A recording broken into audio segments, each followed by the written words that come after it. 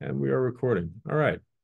Uh, thank you, everyone, for joining us uh, today, February 8th, 2024, for Decentralized Identity and Interoperability, connecting Credo with Hyperledger Besu, Cardano, Cheqd, Hyperledger AnonCreds, and OpenID Connect for verifiable credentials. I'd really like to thank everyone for joining us today. And most importantly, I'd love to thank our three presenters, Alexander, Renata, and Artem. Um, they are amazing members of our community. They've been contributors for a very long time to uh, Hyperledger, but especially the identity projects at Hyperledger. I got to work with Alex five or six years ago, and and that's been a, that was a great experience. Um, I am going to really quickly take you through a couple of slides as an intro, and then we're going to jump into the presentation.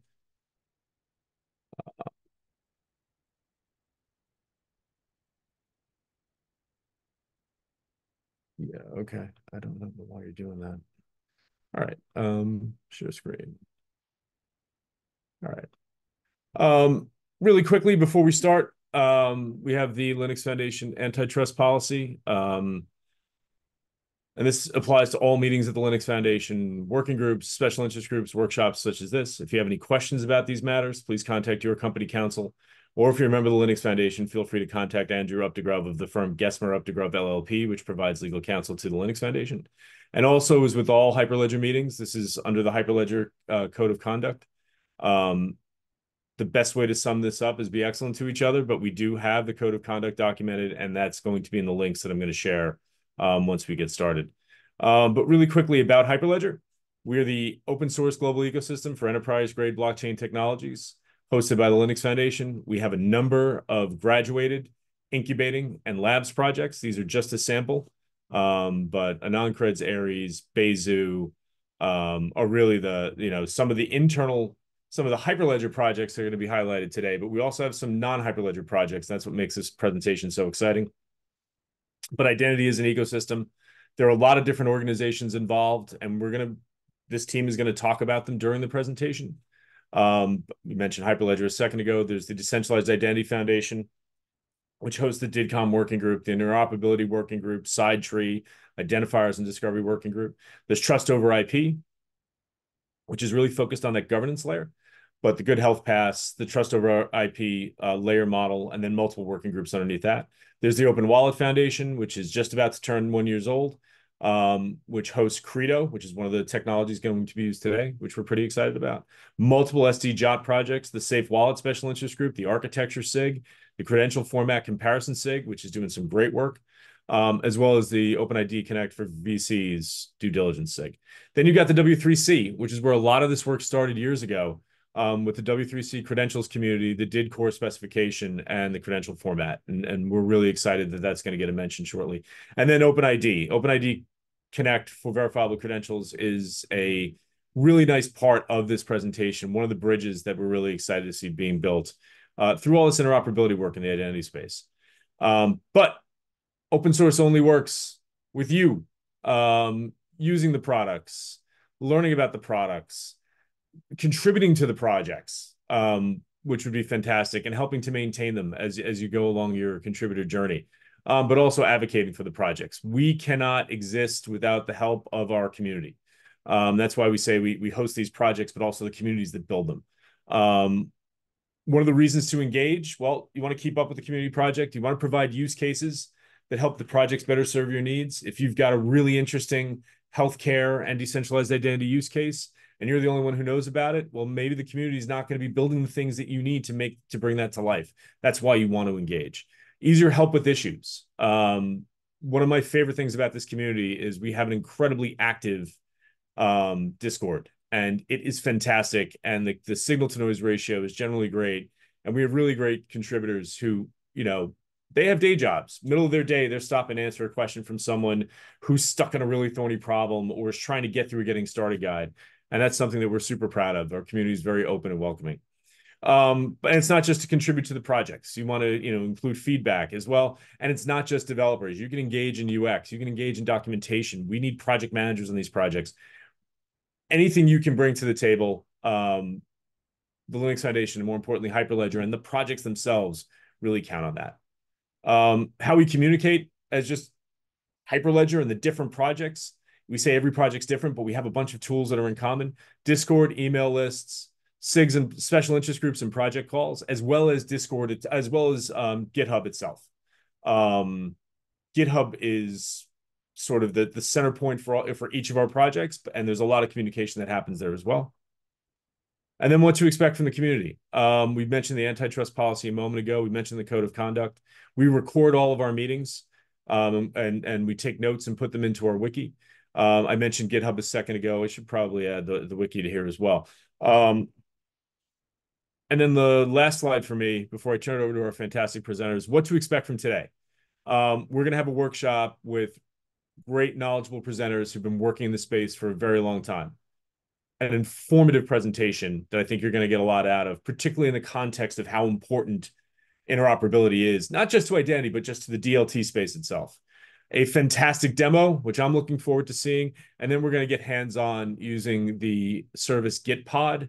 Um, we're going to put some links in the chat shortly. Uh, you need to connect your Gitpod account to your um yeah so am thank you for putting that note in the chat i'll answer that in a second you, you need to connect your github account to gitpod to be able to get hands on but once you do you're basically getting a development environment with everything pre-installed you're not to we're not to and you know stop the workshop at an hour and a half to give folks an hour to install applications so we're, we're pretty excited about that um this is not being live streamed so this this slide is slightly a lie it is being however recorded to youtube um, it will be on the Hyperledger YouTube. I'm also going to embed the video in the wiki page. Uh, the wiki page is going to include the recording, the notes, and the links that I'm going to share momentarily. There's going to be a thank you note, which will go out probably next Monday to everyone who registered. If you didn't register, that's fine. All the links are going to be in the YouTube, uh, the YouTube video description as well as on the wiki page and Gitpod. Um, if on Sunday you want to go back and refer to the video, you can go back into the Gitpod link and and play with the environment. Um, so we're pretty excited to experiment with that. With that, I'm going to turn it over to Alexander, Renata, and Artem.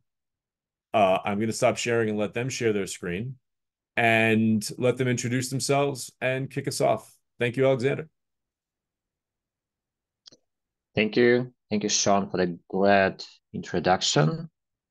Uh, uh, share my screen. Can you see it? You look good and you sound good. Okay, perfect, perfect. Uh, thank you, thank you everyone for joining today. Uh, we are really looking forward and uh, hoping to hoping that this presentation will be uh, interesting, uh, useful for those who are new in the centralized identity space. For those who are not new, there still can be some uh, good things in order to summarize the knowledge, in order to uh, specifically uh, talk about the topic of interoperability. So uh, just a couple of words about uh, what we want, what we want to achieve with this presentation, why we are doing it. Uh, actually, there is a number of uh, myths about self-sovereign identity, maybe some misconceptions, and one of the goals is to demystify it and uh, provide actually more context about what is self-sovereign identity, what is a state, of interoperability in self-sovereign identity. And the first thing that I wanted to start with that uh, self-sovereign identity or decentralized identity is it is not a framework. It's not a tool or a library, right? A society is a concept. It's a model for uh, digital identity. And uh, there are multiple specifications, protocols uh, in self-sovereign identity. There are multiple frameworks, uh, tools, libraries, APIs implementing these uh, principles and protocols, right? So it can look like a bit mess, but uh, one of the goals of this presentation is actually to show that it's not as complicated as it seems. And uh, there are very good trends in the community uh, kind of to stabilize these protocols, to converge them. Uh, and interoperability probably for someone it can be surprised that it has now a much better interoperability than it maybe used to be before. So uh, the first goal is uh, to summarize uh, the main approaches, specifications, profiles in uh, SSI. So before we start talking about interoperability, we need to kind of define what is SSI and what are the points in SSI uh, where interoperability may happen, occurs. And the second goal is actually to show this uh, interoperability between uh, some of the approaches, tools, and uh, frameworks. So uh, as Sean already mentioned, our uh, presentation today will consist of uh, three main parts. the first part, is a presentation, the theoretical part. The second one is a demo.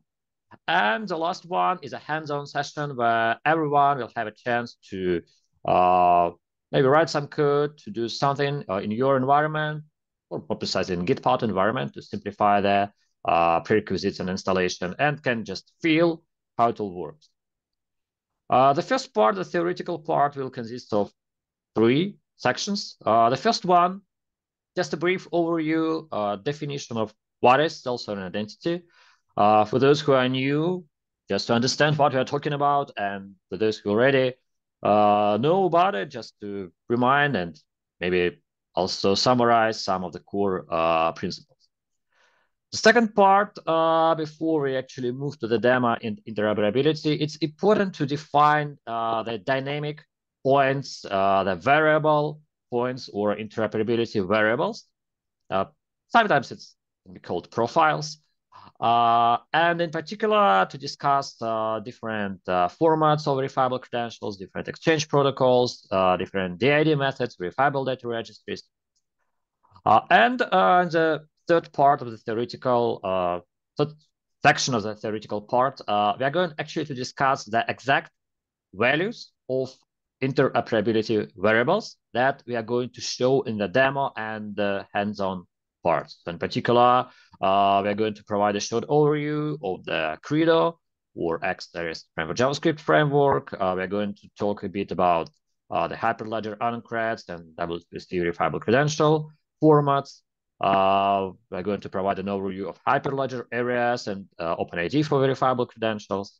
And in terms of the verifiable data registries, which is quite often uh, blockchain or distributed ledger technology, uh, we're going to talk and then show in the demo such uh, frameworks as Cardano, Cheqd, uh, Hyperledger Besu as part of Hyperledger Indy Besu initiative.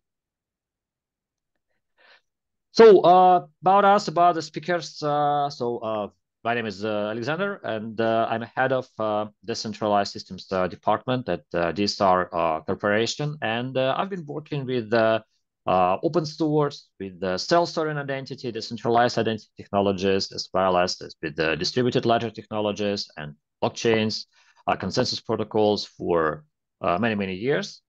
Uh, and in particular, I have a lot of experience in contributing, maintaining uh, such projects as Hyperledger Indy, Aries, uh, Ursa, AnonCreds, and so on. And I, will present the first uh, part, the theoretical part, uh, the presentation, and the demo and hands-on parts will be driven by uh, Renata Tar. Uh, she's a lead software engineer at DSR Corporation. She also has uh, many, many years of experience working with open source, self-sovereign identity, blockchains, distributed ledgers, and such projects as Hyperledger Indy, Aries, the Cheqd, and so on. And also we have uh, Artem with us on the call, uh, and he also can be ready to help uh, with the questions in chat uh, or anything that may arise during the hands-on. Uh, just a couple of words. So, uh, you know, we both represent uh, DSR Corporation. Just some background why we are providing this presentation, because actually in DSR we have a lot of experience of working with uh, blockchain and self-sovereign identity uh, technologies and contributed to many, many uh, open source projects, uh, which includes in particular many identity uh, frameworks projects like Indy, Aries, Ursa, Sovrin, AnonCreds, Cheqd. And also we are the members of Hyperledger Foundation, Open Wallet, Deep, Trust over IP. So uh, kind of one of the main organizations which uh, adopt and uh, advance uh, decentralized identity. So let's move to the presentation part. And the first thing that we need to understand is what is actually self-sovereign identity? And uh, let's start with the uh, three models of uh, digital identity. So the first model, it's probably a traditional model, a centralized uh, model where uh, an identity and the attributes uh, associated with the identity are usually controlled by third-party organizations, which actually means that there is a different representation of the user or in every organization. Uh, from UX point of view, it means that usually uh, people have to create a new account with a new password uh, for every uh, service. And it's not perfect, of course, from the security point of view, from the privacy point of view, because uh, people don't have any control of the information about them. Also, it's not so convenient and uh, secure from the UX point of view. It may lead to lots of passwords that needs to be managed. Many of them uh, may leak uh, and so on. The second model is a federated identity. That's a model when uh, the information about identity, the attributes are encapsulated in uh, uh, identity uh, providers. Uh, and uh, the third-party organizations uh, can leverage the identity providers to be authorized to access this data. Just some examples that can be associated with this model are OAuth or OpenID Connect protocols. From the UX point of view, it may look like when people go to the website, there can be buttons to log in with Facebook or Google or Apple or GitHub, whatever. And UX is much better. Of course, UX, UX is much better. but in terms of privacy, it's still uh, there is still no control by the identity owners uh, of the data, how it's used, uh, how it's processed, and so on. And uh, uh, and finally, we have a third model, self-sovereign identity or uh, decentralized identity. And unlike other models, this is a model which is focused on privacy, and it actually enables enables uh, the holders holders uh, or the identity to maintain uh, full control of the identity or the attributes associated by the identity. So it doesn't require intermediaries to uh, provide the necessary data. So identity is fully managed by the holders and uh, presented, disclosed uh, to the corresponding services when needed. So it's more privacy preserving, it's more peer-to-peer -peer, communication uh, and uh, also, it sometimes it leverages uh, the blockchain or distributed ledger technologies, but as we will see later, it's uh, actually more abstract than these, and it's not mandatory.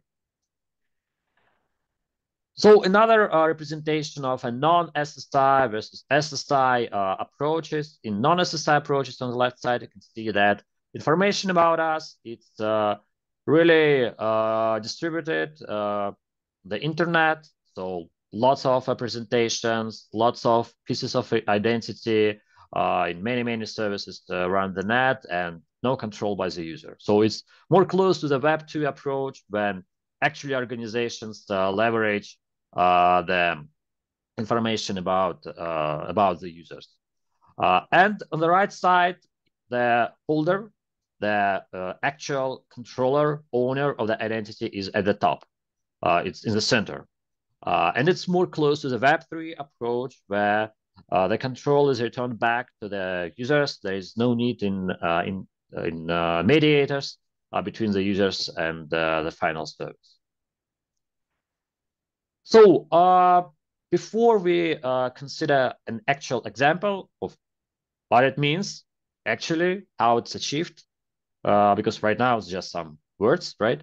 Uh, but before we move to this, uh, let's consider two very important uh, concepts associated with the self-certain identity. Uh, the first one is verifiable credentials, and the second one is uh, decentralized identifiers or uh, both of these concepts are not just concepts, it's actually standards. as part of W3C, it's a recommended standard. And let's start with the concept of uh, verifiable uh, credentials. Now, first of all, a credential uh, is a set of one or more claims uh, made by an issuer. So let's consider, for example, a digital ID, digital passport. Right? And there can be some claims like a name, surname, uh, address, uh, date of birth, uh, and so on. Just some mapping, some claims, some keys, some values, right?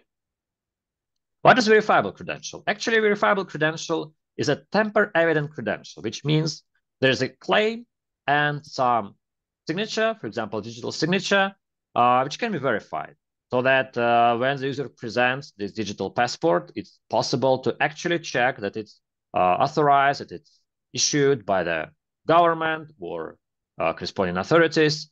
Uh, so yeah, that's what about verifiable credentials.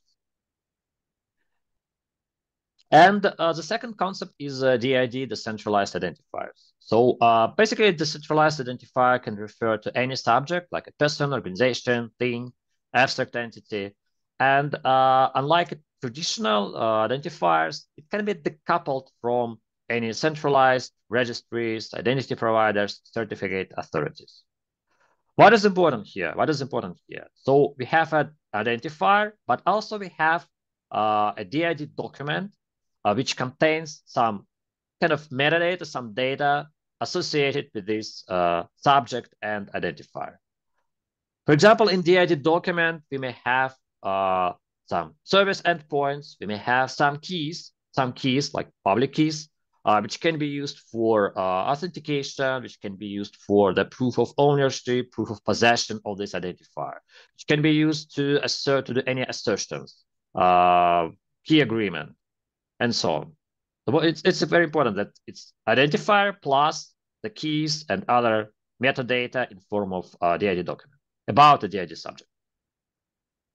And also, uh, previously mentioned that DID is decoupled from any centralized registries. And actually, uh, if you look at the syntax of uh, DID, it consists of did, uh, then did methods, and did method specific string. And the did method, it's actually what uh, defines how exactly uh, DID is processed in terms of uh, CRUD operations, where it can be resolved. And here we have the concept of verifiable data registry, uh, verifiable data registry. So this is uh, like an abstraction. Uh, it's an abstraction, uh, can be a database, can be a blockchain, distributed ledger, uh, where, for example, the did documents uh, can be published and can be resolved. Like in a simple way, we can have a ledger and where for every DID, we have a did document published as a ledger and anyone can read it, right? Uh, and uh, can actually get information about, for example, the public keys associated with this uh, DID.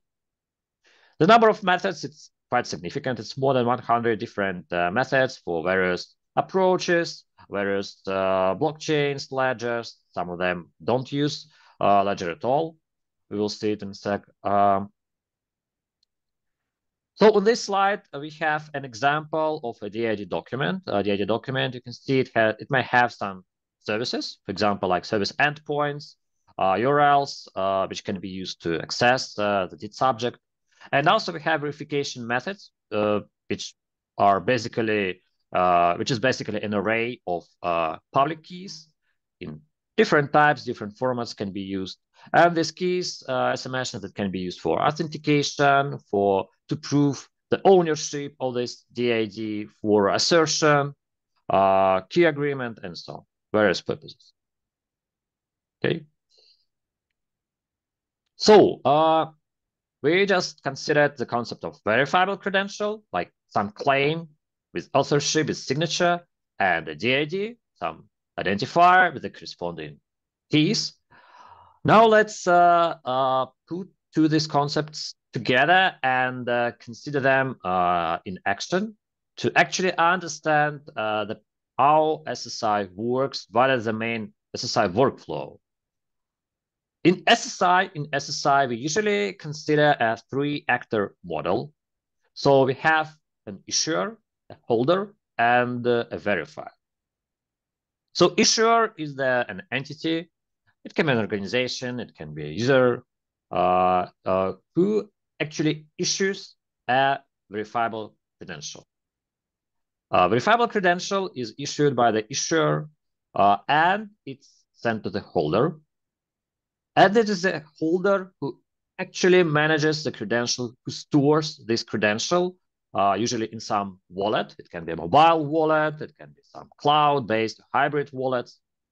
So that that's one of the first differences between traditional non-SSI approaches and SSI approaches. The SSI, the data, the identity data in form of verifiable credentials is stored on the holder side, not in some identity providers, not in the blockchain, never, but on the holder side. Then uh, the right side, uh, whenever uh, the holder needs to access some service, uh, the service as a verifier can request uh, can request some proof, and the holder can present this uh, information derived from the verifiable credential. And the verifier, since the verifiable credential is not just the claims, they also contain signature from the issuer, the verifier can check, can verify the signature and uh, make an attestation that uh, requested uh, parameters requirements are satisfied. So here we have a verifiable data registry. So uh, why it's needed? Uh, so we just discussed uh, and considered the verifiable credentials. The issuer issues verifiable credentials, it's sent to the holder, then holder presents this credential to a verifier.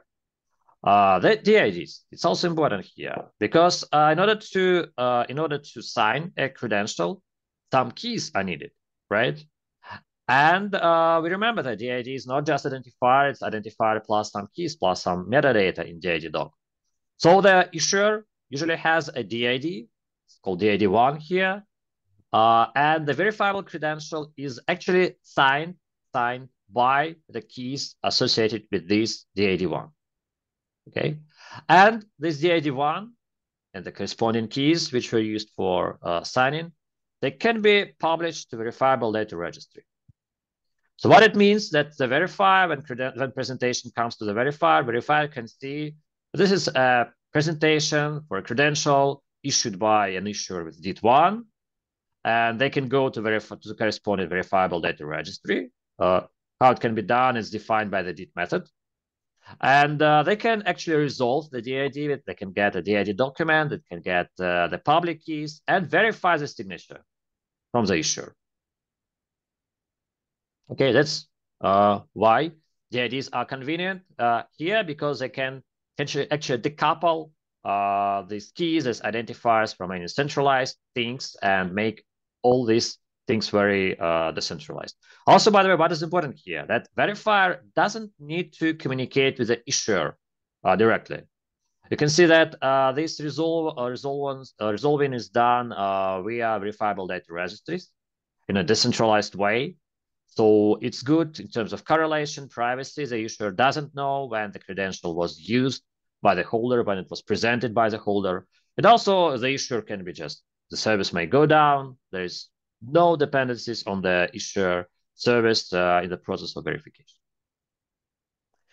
Okay, and the last uh, part here, you can see D2 associated with the holder. So uh, depending on different SSI uh, frameworks, specifications, uh, this part can be, be different, but essentially, essentially, usually verifiable credentials are usually uh, issued for some holders, DID, for some subjects, DID, DID2 in this case. Uh, and of course, the issuer signs not just the claims, but also the fact that it's issued for DID2. Uh, and uh, uh why it's uh, also uh, can be used during the presentation. During the presentation, the holder can actually uh, can actually prove that he owns this DID2 by presenting the corresponding proof of ownership, the signature associated with the DID2 right?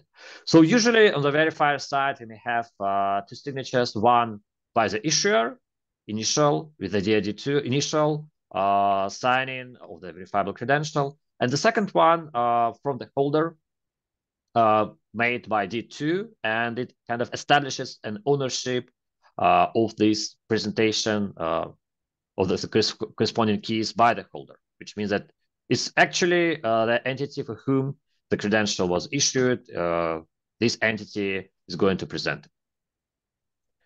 Uh, so we have DID1 for the issuer, DID2 for the holder. We have verifiable credential signed by DID1 associated with D2, And on the verifier side, the presentation comes usually with two signatures, one by DID1 from the issuer, the second by DID2 uh, from the holder. Usually, uh, DID2 doesn't need to be put uh, on the blockchain. In many cases, some uh, off-ledger approaches for DID are used, something like DID-key, DID-peer, some forms of DID-ion, or DID-KERI, and so on. So it's not doesn't always mean that a DID must be published on the ledger. No, there are some approaches, some methods, DID methods, uh, which doesn't require it, and it can be quite good for the common people, for holders, because they don't need to put some data to to uh, blockchain, which can be good from, for example, GDPR compliant uh, purposes. Okay, so uh, the next infrastructure. Uh, sorry, any questions? No, Alex, go ahead. That was an artifact. You're good. Okay. So uh, the next uh, the next uh, slide it's uh, about uh, Trust over IP Stack. Uh, we can see that Trust over IP it's one of the organizations advanced in uh, social identity technologies, and uh, one of the main uh, one of the main uh, uh, outputs of the working groups is the creation of Trust over IP Stack, which has a very nice, very nice uh, layered representation of the concepts, uh, identities. And let's try to actually map what we just discussed uh, to this uh, stack. So let's start with the left part. It's like a technology stack. And uh, on layer four, on layer four, we have actually the application ecosystems. It's where we uh, apply apply self-sovereign identity, decentralized identity, what uh, use cases it can be like supply chain or healthcare or you know education banking whatever. Uh, on the layer three we have uh, some protocols actually some trust task protocols. And uh, the credential exchange protocols that we just discussed where the issuer issues verifiable credentials and the holder presents uh, a proof to the verifier it's uh, one of the examples of these protocols. Of course, there are more protocols than just that. There can be some protocols to establish the connection, uh, some protocols for discovery, uh, a number of them.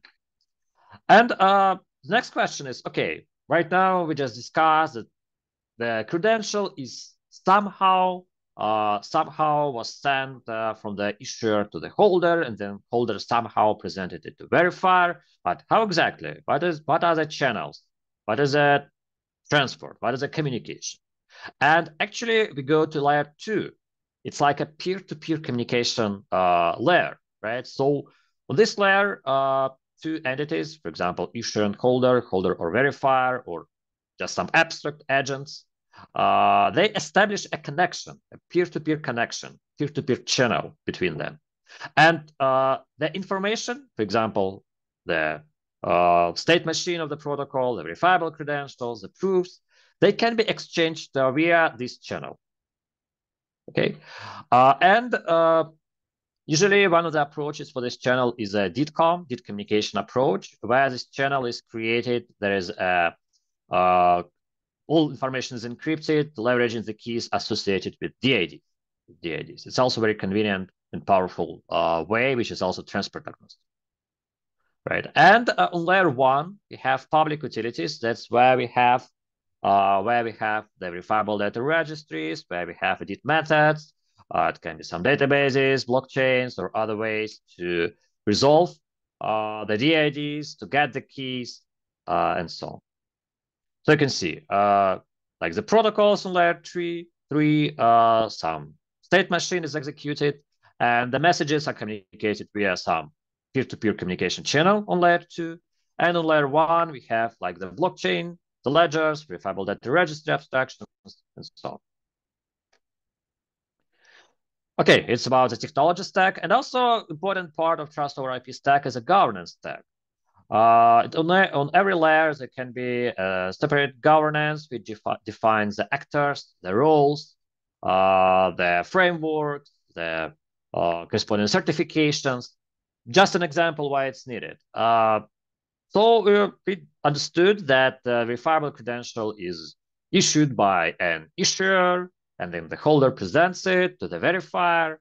But the question, uh, why verifier should actually trust that it's a valid credential issued by the issuer. Yes, we can verify the signature, we can verify the crypto part, but it can be that the holder just signed the, this credential on his own. Uh, that's why we need some trust framework. That's why we need to actually understand that this particular DID, for example, this particular key, which was used to sign a credential, it can be trusted. It can be associated with the government authority entities, right? So the verifier can check that, yeah, it's a credential uh, associated with the corresponding credential definitions, the uh, decentralized identifiers, which are actually owned, controlled by the government. It's just one of the examples why we need some additional governance. And uh, it's not only about this, it's of course also about like uh, the frameworks, uh, the wallets, uh, which can be used, uh, can be certified and so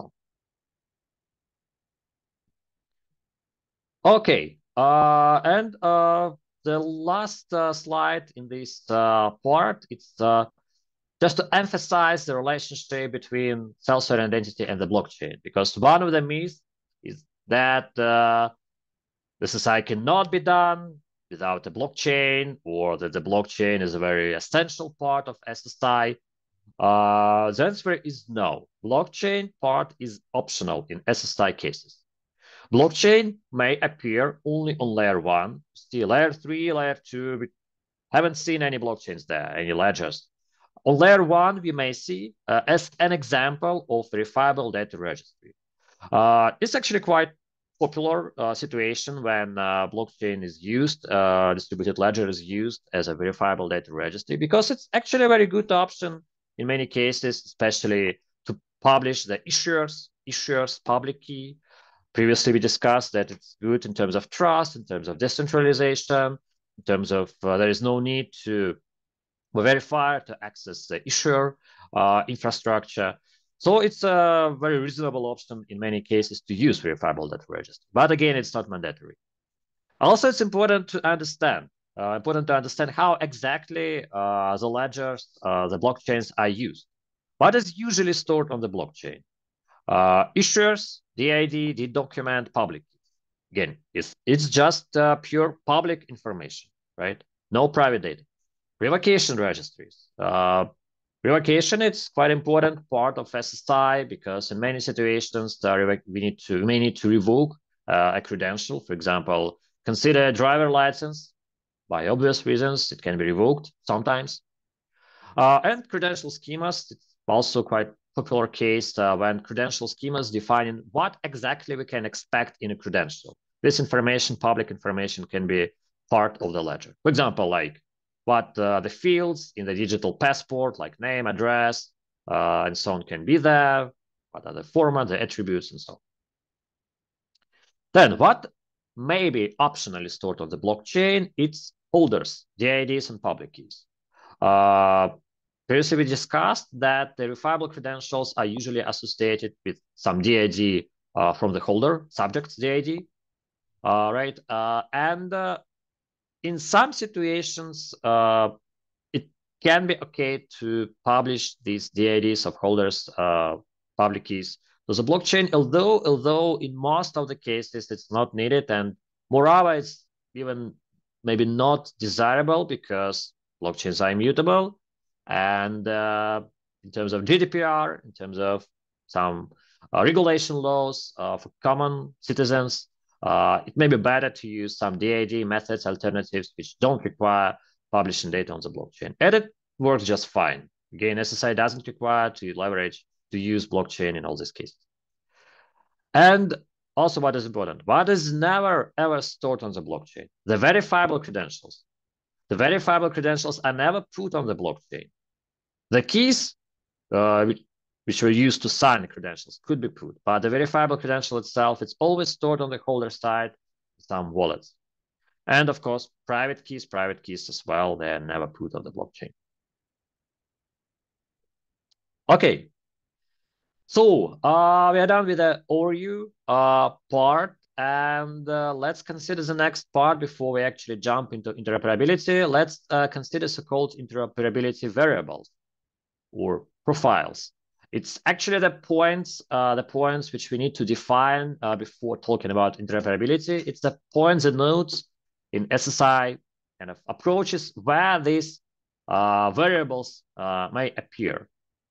Uh, let's look actually, let's use the trust over IP model uh, as an example. We have three layers, exchange, credential exchange, communication, and public utilities like VDRs. And if you start thinking about kind of verifiable credentials and this uh, three-actor model, uh, we may realize that usually we need to answer at least at least three questions. What? Uh, what, what is the verifiable credential format? Like, so what exactly we are exchanging here when we say that issuer issues and sends verifiable credential to, to the holder? But what is the format? What, what is verifiable credential, right? Right now, just some abstraction, and that can be multiple kind of ways to represent, uh, for example, a digital passport, right? In terms of encoding, in terms of signatures, in terms of uh, semantics, uh, and so on. The next question, okay, let's assume we, we defined the format of verifiable credential, but how exactly it's transferred from the issuer to the holder, from the holder to verifier? What is the exchange protocols? And uh, also multiple options uh, can be there. And the third one is where. It's about DID methods and uh, VDRs. We already uh, discussed it can be multiple DID methods. So do we need to use a blockchain, a ledger, or we need to use some existing uh, trust within uh, domain names, or we should make it off ledger, some centralized databases. So how, where exactly these uh, public keys, this DID and DID methods uh, are stored. Uh, so we can see just some examples here that in terms of formats, it can be Hyperledger AnonCreds, it can be W3C verifiable credentials in either JSON-LD, JWT, or SD-JWT formats. It can be a mobile driver licenses, and so on. It's, of course, it's not a full list. It's just some, some examples, some popular uh, options exchange protocols. It can be Hyperledger Aries, DIDComm based. It can be uh, uh, DIF, uh, also DIDComm based formats. It can be uh, Open Identity for verifiable, Open ID uh, for verifiable credentials. It can be W3C, uh, verifiable credentials AP or CHAPI. It can be formats defined uh, by mobile driver license, uh, ISO standards. And uh, where so uh, we're going to consider a number of options. Uh, there can be like some self-resolving options, which doesn't require any other uh, storages. DID key is an example. Uh, there can be some DNS-based uh, resolving via DID web. Uh, and there can be some ledger-specific things like uh, Indy, DID Indy, DID Sov, Cheqd, for example, Cheqd, Cardano, DID Prism, uh, Indy Besu, and so on. And uh, the combination of these variables, not actually only these variables, there can be more variables defined. It's just, I would say, I would say the core ones. Uh, the combination of these and other variables is sometimes called a profile, sometimes called a profile. And as an example of more variables, we can define approaches for revocation, for uh, trust, uh, and so on. So uh, let's start uh, thinking about these variables. And uh, the very first, uh, the very first combination of variables that was part of Hyperledger and one of the very first production-ready frameworks, uh, approaches for uh, SSI. Uh, it's wasn't still associated with the Hyperledger Indy and later with Hyperledger Aries and AnonCreds, which means that Hyperledger AnonCreds is used as a verifiable credentials format. Hyperledger Aries, DIDComm-based approaches are used as exchange protocol, and Hyperledger Indy Ledger, uh, permissioned uh, ledger, is used as a VDR. And it's, well, one of the profiles, reasonable, it has its constant pros as any other profile. Uh, but what is important here, uh, that there are much more options. There are much more options and profiles than just this. And especially for people who may start their journey in uh, the centralized identity world, if they start their journey with some particular organization or framework, let's say at Indy or mobile driver licenses or OpenID, uh, they may think that like this framework is the only way to implement SSI, which is not, which is not. You can see that there can be multiple different uh, options. And uh, even in uh, hyperledger Aries, even in hyperledger Aries, uh, and like Credo framework, which was also part of hyperledger Aries uh, some time ago, uh, we can see that much more variables and formats are supported, not just AnonCreds and Aries in Indy, like the standard Indy-based one. Even as part of Hyperledger Aries, uh, we can see support for both AnonCreds and W3C. We can see support for Aries for OpenID, uh, for verifiable credential uh, protocols. We can see support uh, for many, many different uh, types, uh, DID methods, ledgers, blockchains. Uh, that actually what we are going to see today during the demo and presentation part. And uh, just a couple of more uh, details about different uh, variables. Let's start uh, with what, with the verifiable credentials format uh, to see the difference. Uh, before, before we start discussing this difference, it's important to it's important to understand what is selective disclosure and uh, predicates, right?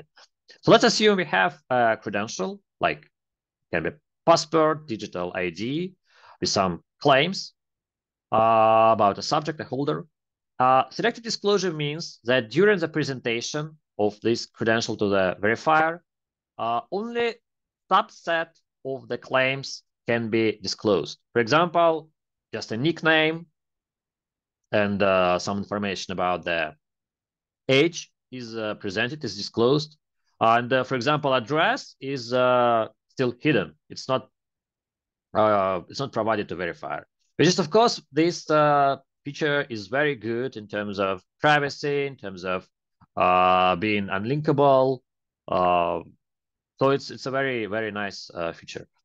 And the second feature is predicate predicates.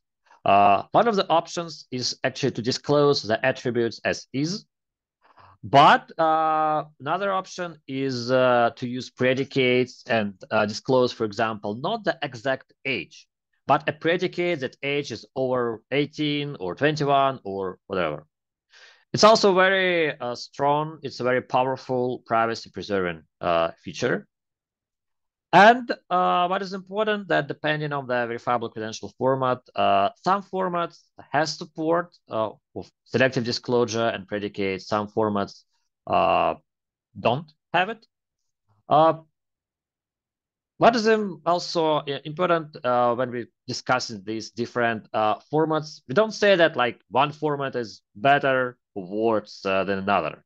Verifiable credential format or exchange protocols they all have their own cons and pros, and depending on the context, depending on the interoperability requirements, uh, one or the other uh, format can be a right uh, selection, right? So let's just briefly consider uh, probably the most popular ones and the difference between them. The first uh, four, the first four formats, they are part of uh, W3C verifiable credential. That's actually the most popular, the most common, standardization of a verifiable credential uh, format uh, in form of a JSON or JSON-LD. So as serialization, uh, the first two we use JSON-LD, and the second uh, is just JOT, which is obviously JSON. Uh, what LD means? Uh, it uh, provides some linked data capabilities to just a pure JSON, which means that there is some semantics, some schema, some meaning uh, in the JSON fields, uh, which can be a very, very nice uh, feature in some cases. Uh, the difference between these uh, formats is not only in serialization, but also in the proof format and signing algorithms uh, used. Uh, the first one is just uh, JSON standard uh, JSON LD. Uh, usually some common standard Signatures are used in form of data integrity proofs. It can be like a ECDSA, a elliptic curve uh, signatures can be RSA, can be EdDSA, leveraging ED 25519 uh, signatures. It JSON LD is encoded. It doesn't support selective disclosure, it doesn't support predicates, as like any common standard signatures, they don't support it. The second type is JSON-LD with uh, BBS plus type of data integrity proofs.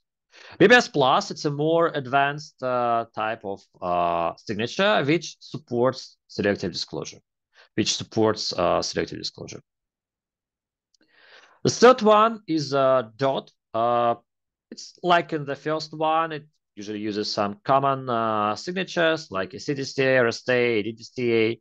Uh, JSON is a serialization type, and it's uh, actually a valid, a common uh, JOT leveraging JWS, GA, and uh, JOSE family of uh, standards, uh, which is can be a nice option uh, if JOT is already part of any system and you leveraging JOT to represent verifiable credentials can be a reasonable option. And like any common JOTs, it doesn't support selective disclosure, neither selective disclosure nor uh, the predicates. And uh, the fourth format that we are going to discuss as part of W3C family, uh, it's uh, SD JOT. It's selective disclosure JOT. It's actually an extension, an extension of uh, JWT JOT standard to support selective disclosure, to support selective disclosure, which means that uh, it's issued uh, leveraging some hashes and not all the values can be disclosed uh, to the verifier.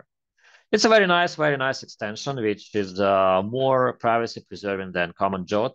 And still, it's a valid, uh, valid uh, token, which can be used in the same cases where uh, JWT is used. Okay, so that's about like uh, some popular popular combinations for of verifiable credential format uh, as part of W3C. But W3C verifiable credential is not the only standard. It's not the only format. Hyperledger, AnonCreds, uh, most commonly used in Indy and Aries. It's another very popular standard, it's been adopted, been in production for many, many years. Uh, right now, it's has its own specification definition. It's part of Hyperledger AnonCreds project. Uh, you can see that it's the most privacy preserving standard because it supports both selective disclosure and predicates. It also has other very nice features because it's based on zero knowledge proof uh, cryptography. It's, of course, much more advanced and complex uh, cryptography based on CL, Camenisch-Lysyanskaya uh, signatures. JSON is used as a serialization. Uh, I'd like to note that as part of the uh, recent uh, uh, opportunity, uh, right now it's possible to represent the Hyperledger AnonCreds verifiable credentials in uh, W3C as W3C verifiable credentials or verifiable presentations. So uh, I hope that it's actually a very big step forward, the convergence and interoperability and should be possible actually to leverage the existing Hyperledger AnonCreds credentials where, for example, W3C verifiable format uh, is expected. So it's not as separate now as it may look like.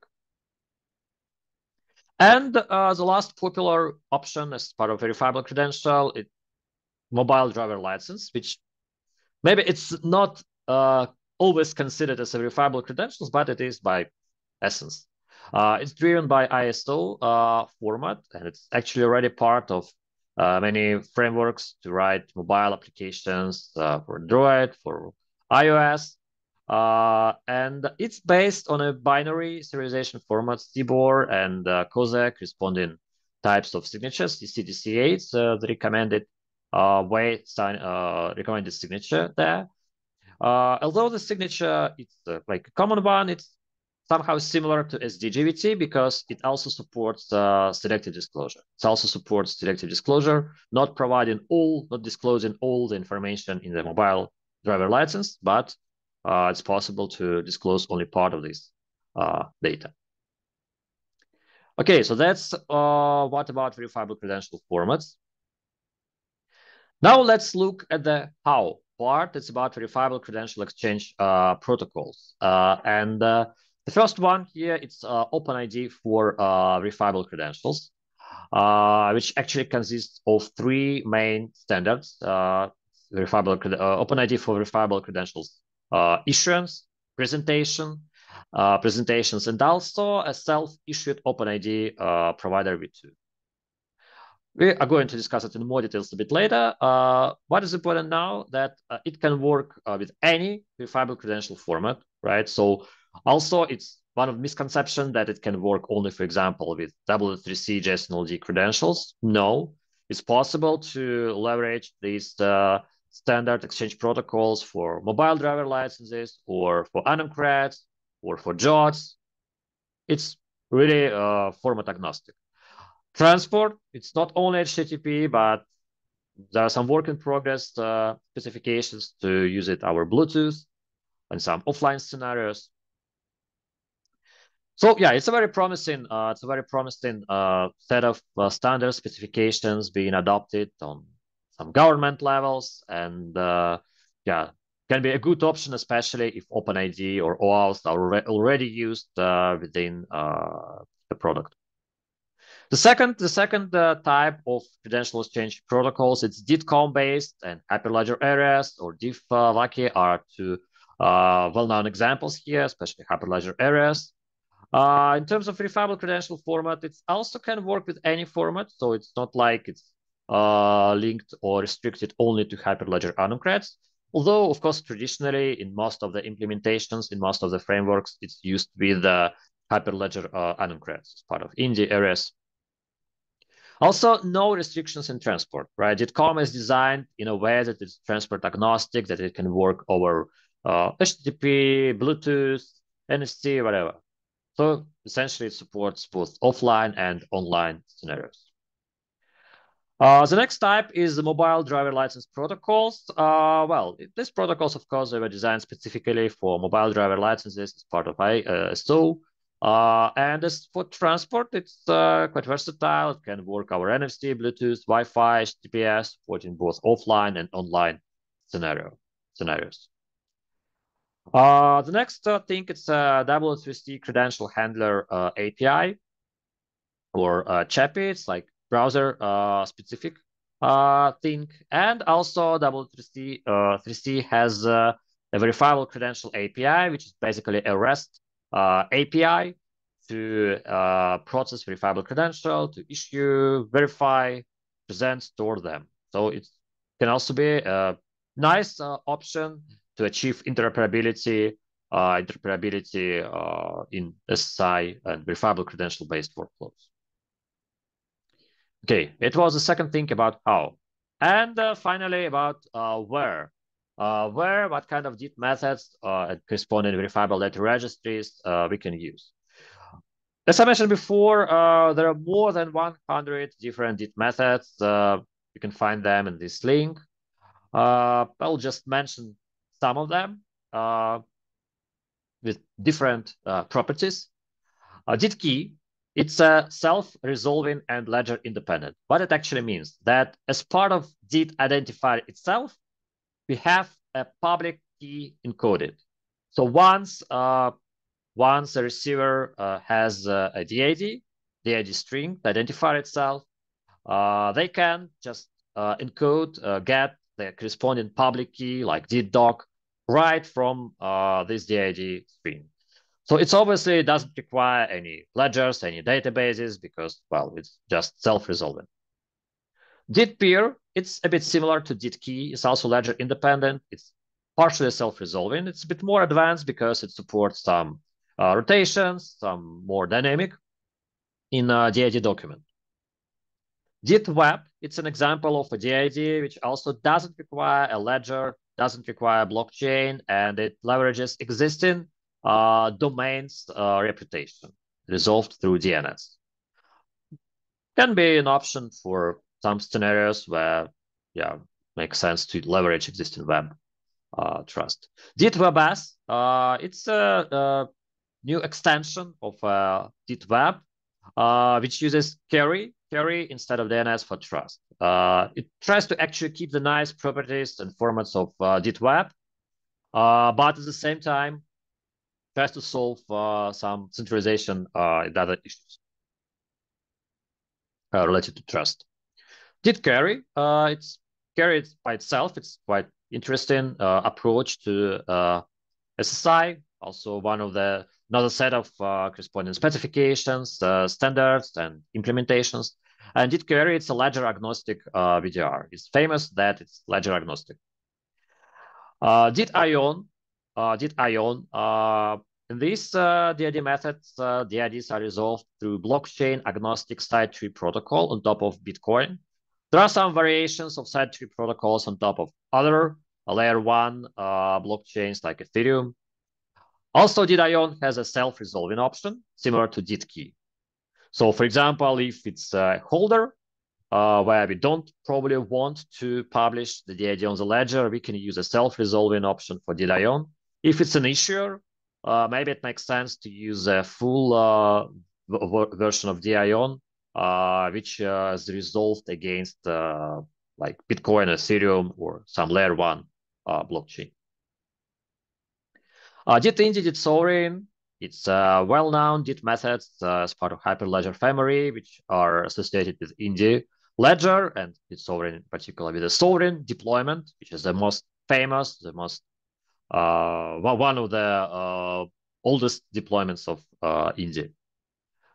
Uh, DID Ethereum, it's a self-managed, it's approach for self-managed uh, DIDs uh, resolved on Ethereum as a VDR. It also has very nice uh, properties in terms of gas savings, since it's a permissionless uh, blockchain.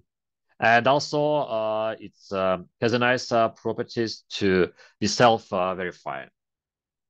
DID Cheqd, so Cheqd, it's a very nice option for permissionless ledger for SSI use cases supporting multiple formats.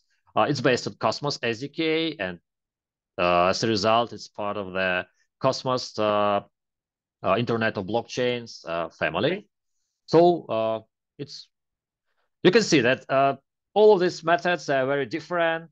Some of them use blockchain, some of them don't use blockchain, some of them use permissioned ledgers, some of them use uh, permissionless uh, ledgers. So there is a big variety of uh, approaches there. Okay, and as mentioned before, Sometimes uh, the combinations of these uh, variables and other variables uh, is called a profile. Uh, also, would like to know that the notion of a profile is not like uh, just fully established uh, definition across various organizations and working groups. and not all the profiles have formal specifications. Some of them, some of them have, but many are just kind of uh, essentially a combination which are just used in practice. Uh, there is a nice link as part of Open Wallet Foundation. Uh, there's a working group uh, which has a very nice uh, spreadsheet uh, compilation of various profiles and properties and variables. I would like just to mention a couple profiles. high assurance interoperability profile it is an example of a profile with a formal specification, which has a formal specification. It's based on OpenID for verifiable credentials, on uh, selected disclosure JWTs as verifiable credentials, and uh, well, it doesn't it doesn't require usage of DID, so it's usually just based on some row keys or well-known uh, extension. The second uh, profile, which is also standardized, which also has a formal specification, is decentralized identity interop profile. It's also based on OpenID for verifiable credentials. It's uh, based on JWT verifiable credentials, and it assumes this one, uh, compared to the first one, uh, it assumes usage of DIDs like DID-Web, DID, uh, JWK.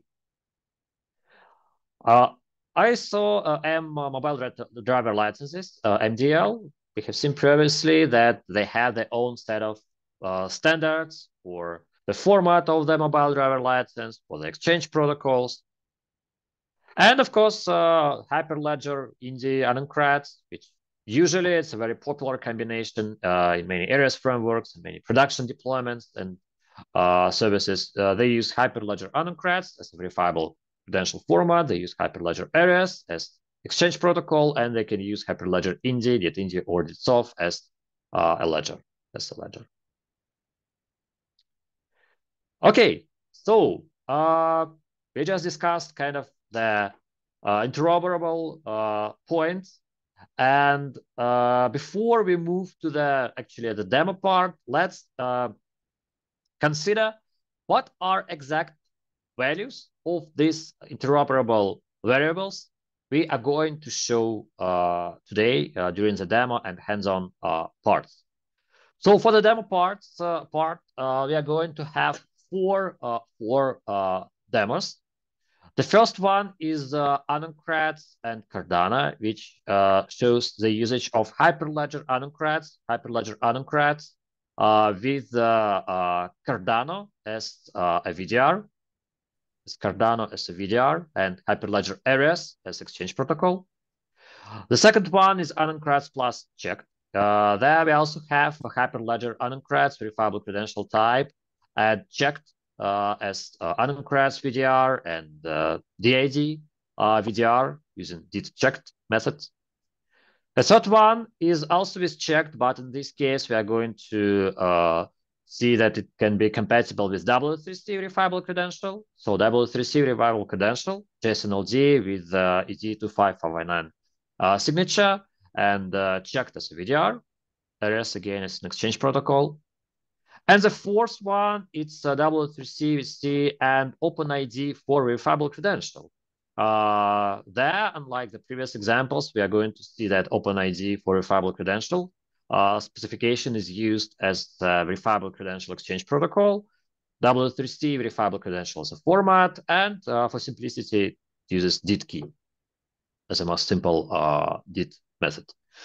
So you can see uh, some level of uh, interoperability, uh, and even if you're talking about Hyperledger frameworks, it's not just you know Indy uh, or AnonCreds. Uh, different combinations that AnonCreds can work with Cardano, AnonCreds can work with Cheqd.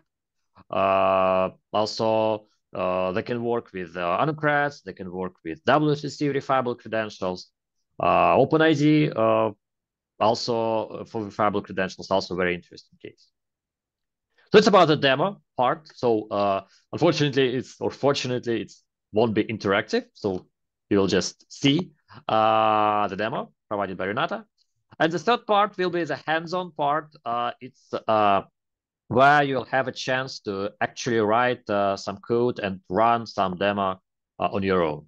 And uh, this part will be devoted to a new uh, initiative in the Besu initiative. And it's a nice initiative not only to show that this initiative just exists, but also to show the interoperability between Hyperledger Aries, uh, AnonCreds, W3C, and Hyperledger Besu, another very well-known uh, framework, uh, distributed ledger uh, from Hyperledger family. So it would also be quite interesting. Okay, in terms of the, of the frameworks that we are going to use for the demo and for the uh, hands-on parts. Hey, hey, uh, our demo and hands. Can I interrupt you for one second?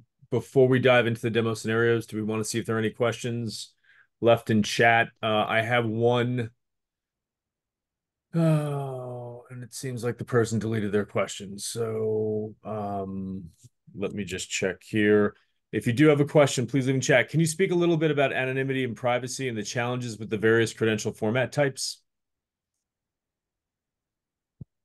Uh, yeah, yep, sure. Well, uh, actually, I can answer it now maybe I can answer it a bit later because uh, actually we are going to uh, we are not jumping to the demo right now right away. Uh, we are going actually also to describe some of these things in a bit more detail.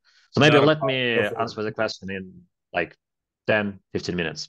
Go for it. Uh, yeah. So uh, in terms of the frameworks, in terms of the frameworks that we are going to uh, use, uh, we're going to use Credo uh, some of you may remember it by the name of Aries framework JavaScript. Uh, at the end of last year, it was moved from Aries, from Hyperledger Aries to Open Wallet Foundation.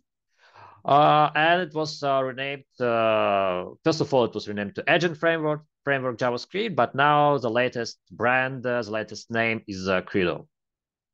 And the Credo, it implements both AnonCreds and verifiable credentials W3C verifiable credentials, this PC formats. it also implements, of course, hyperledger Aries. That's one of the essential parts of hyperledger Aries family, which it was.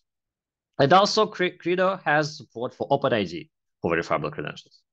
And in terms of VDR uh, for Cardano, we are going to use uh, AFJ. Uh, I still call it AFJ because it was AFJ extension at that time uh, from uh, Roots ID, uh, which uses Cardano as testnet and uses Cardano as a registry for AnonCreds. Also, we are going to use uh, uh, AFJ uh, module. It's just part of the uh, AFJ main repository. it's possible to leverage Cheqd, and we are going to use testnet, of course, of Cheqd for the demo. Uh, and uh, we are going to use an Indy Besu. It will be a local setup in Docker, uh, an instance of Hyperledger Besu, the corresponding smart contracts for the hands-on part.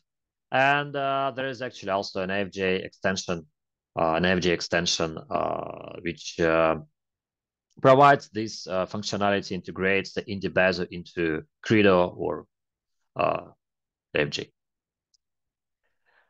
Okay, and before we jump to the questions, maybe the next couple of slides also can answer some of the questions. some more details about the formats and frameworks that uh, we are going to touch on the demo. Uh, Credo. Credo, uh, Aries framework JavaScript, as I mentioned, uh, it was moved to Open Wallet uh, Foundation. Uh, it's a framework based on JavaScript TypeScript, and uh, it can be used either as a backend web server, Node.js, or it can be used in mobile applications, uh, example, React Native. And uh, another uh, Hyperledger Aries framework, Aries Bifold, Aries Agent uh, React Native, is based on uh, Credo, based on Aries framework JavaScript. So uh, Credo provides an SDK API to be integrated into web or mobile applications. And also there are some extensions. Uh, the framework is pluggable and there is a number of extensions. Uh, there are some extensions providing REST API on top of so uh, Credo used to be one of Hyperledger Aries projects uh, since uh, uh 2019, and it was moved to Open Wallet Foundation at the end of last year and renamed uh, to Credo. Uh, in terms of kind of the main components, functional parts, it has a wallet. there are options for the wallet, in the SDK wallet and Aries Hyperledger Aries Askar. Uh, right now, the India-based uh, wallet is being deprecated. So, far as I know, the next uh, release is going to Aries Askar would be the main, uh, the only option. Uh, verifiable credential formats, Hyperledger AnonCreds is supported. W3C verifiable credentials like JSON-LD, uh, JWT are supported. Selected disclosure JWT is supported, and uh, also there are extensions for BBS Plus. Exchange protocols, Aries, uh, V1, V2, and OpenID for verifiable credential. The last one is uh, kind of work in progress, but there are already some uh, functionality available, and we're going to show it. Uh, and DID methods, uh, traditionally, uh, of course, Indy, Ledger, DID Indy, DID Sov are supported, but also DID Key, DID Peer, and DID Cheqd uh, integration with the Cheqd ledger. It's part of the core framework. It's part of the core framework. And also there is a number of extensions, uh, different DID methods for uh, resolving, for registering, uh, uh, options for AnonCreds. And in particular, Cardano, uh, we're going to leverage one of these extensions to show uh, the support of Cardano blockchain as an option of VDR in Credo. Okay, so then about the next frameworks uh, that we are going to look at, uh, verifiable credential format, Hyperledger AnonCreds. Hyperledger AnonCreds. Uh, right now, it's a separate Hyperledger uh, project, and there is a specification. There is a specification, and there is also uh, an, a reference implementation uh, in Rust, AnonCreds Rust. Uh, as a format, as a verifiable credential format, uh, AnonCreds, uh, known as to be the most privacy preserving format because it supports predicates, selected disclosure, uh, zero knowledge proof properties, anonymous revocation, and so on.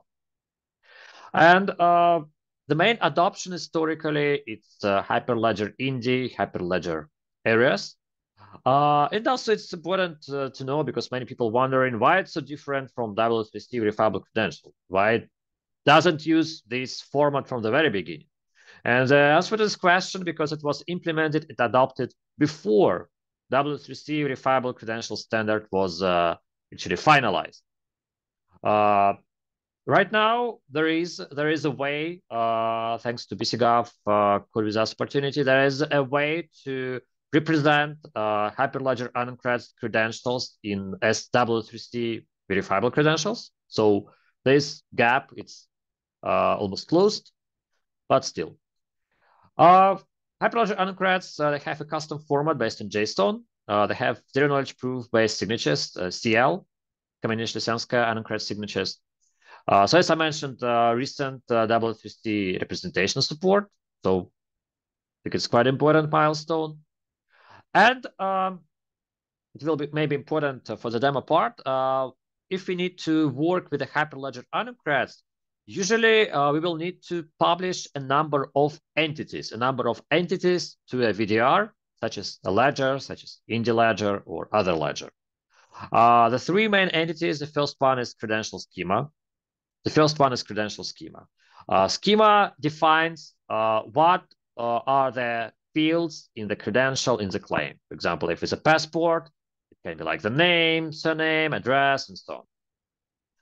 The second is credential definition, which is basically a public key, the issuer's public key.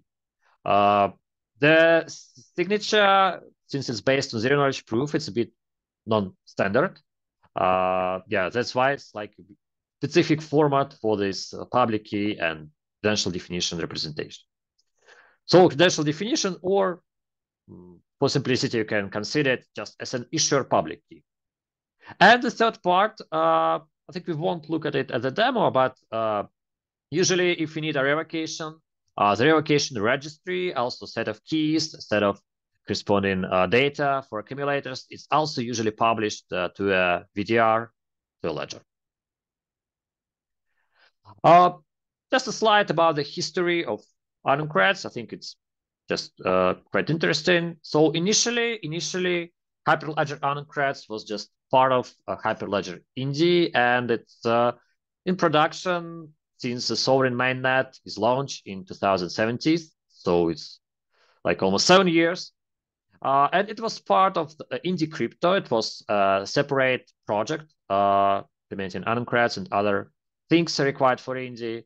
Uh, and it was adopted as part of Indy SDK and Indy Ledger.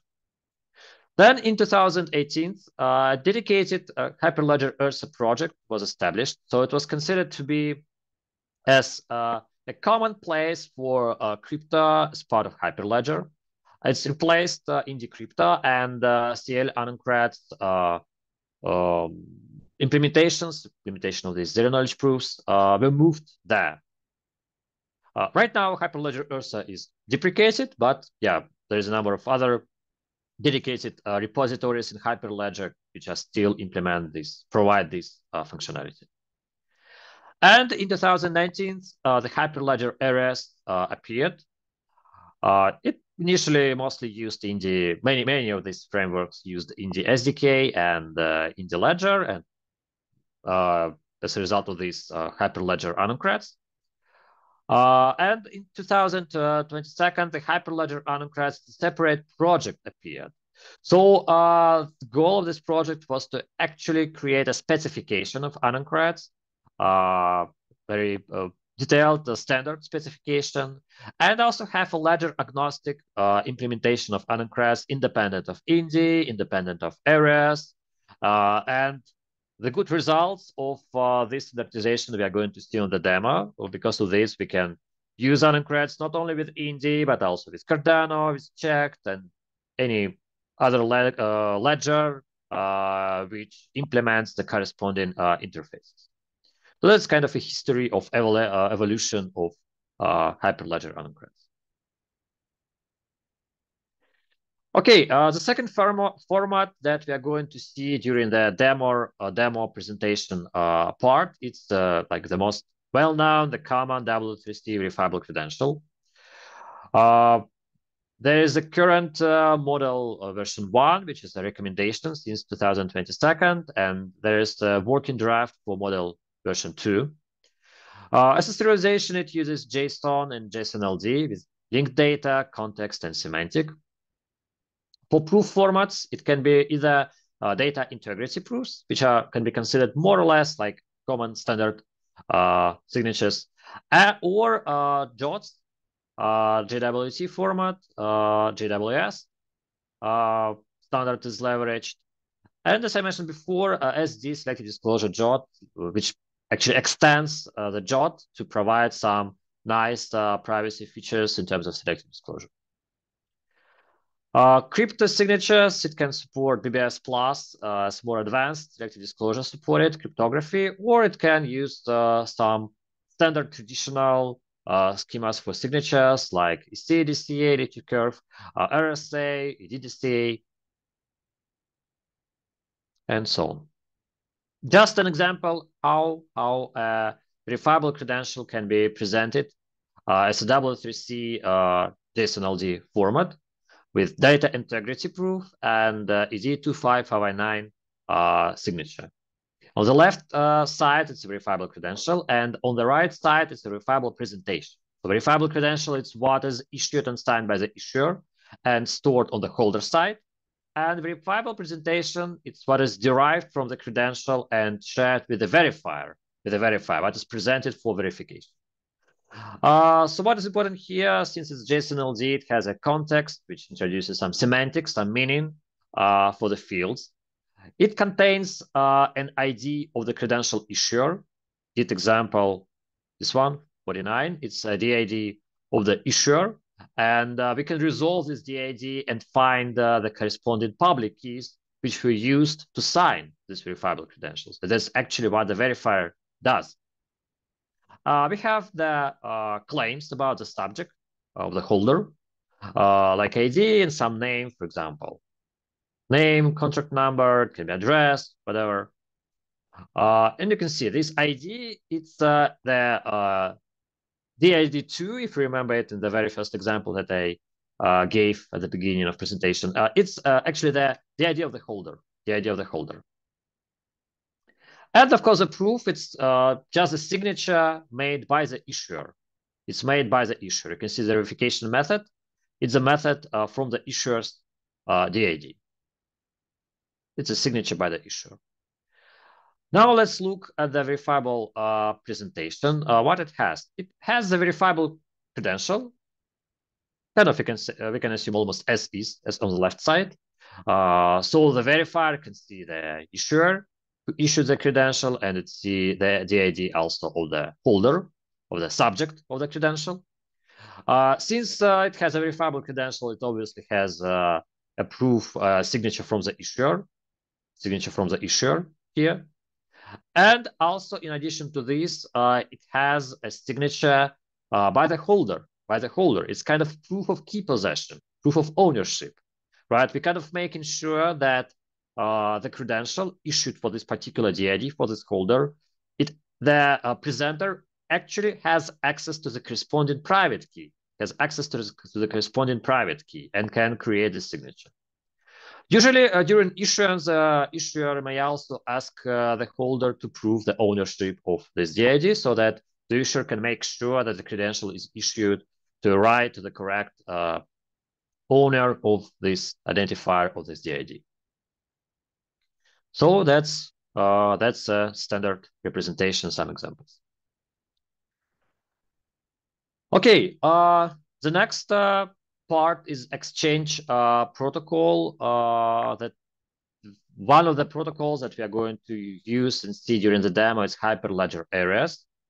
Uh, and what is important, uh, also one of the myths that Hyperledger Aries is some particular framework like PKPI or AFJ or Framework Go. And well, of course, it's true. All these uh, great projects are part of Hyperledger Aries. But what is important? Aries is also a set of RFCs, a set of uh, protocol specifications, which kind of define these protocols and uh, uh, multiple frameworks, they can implement these protocols. The very same protocols can be implemented by Aries VCX, ACA-Py, AFJ, and so on. Of course, there are also tools for interoperability.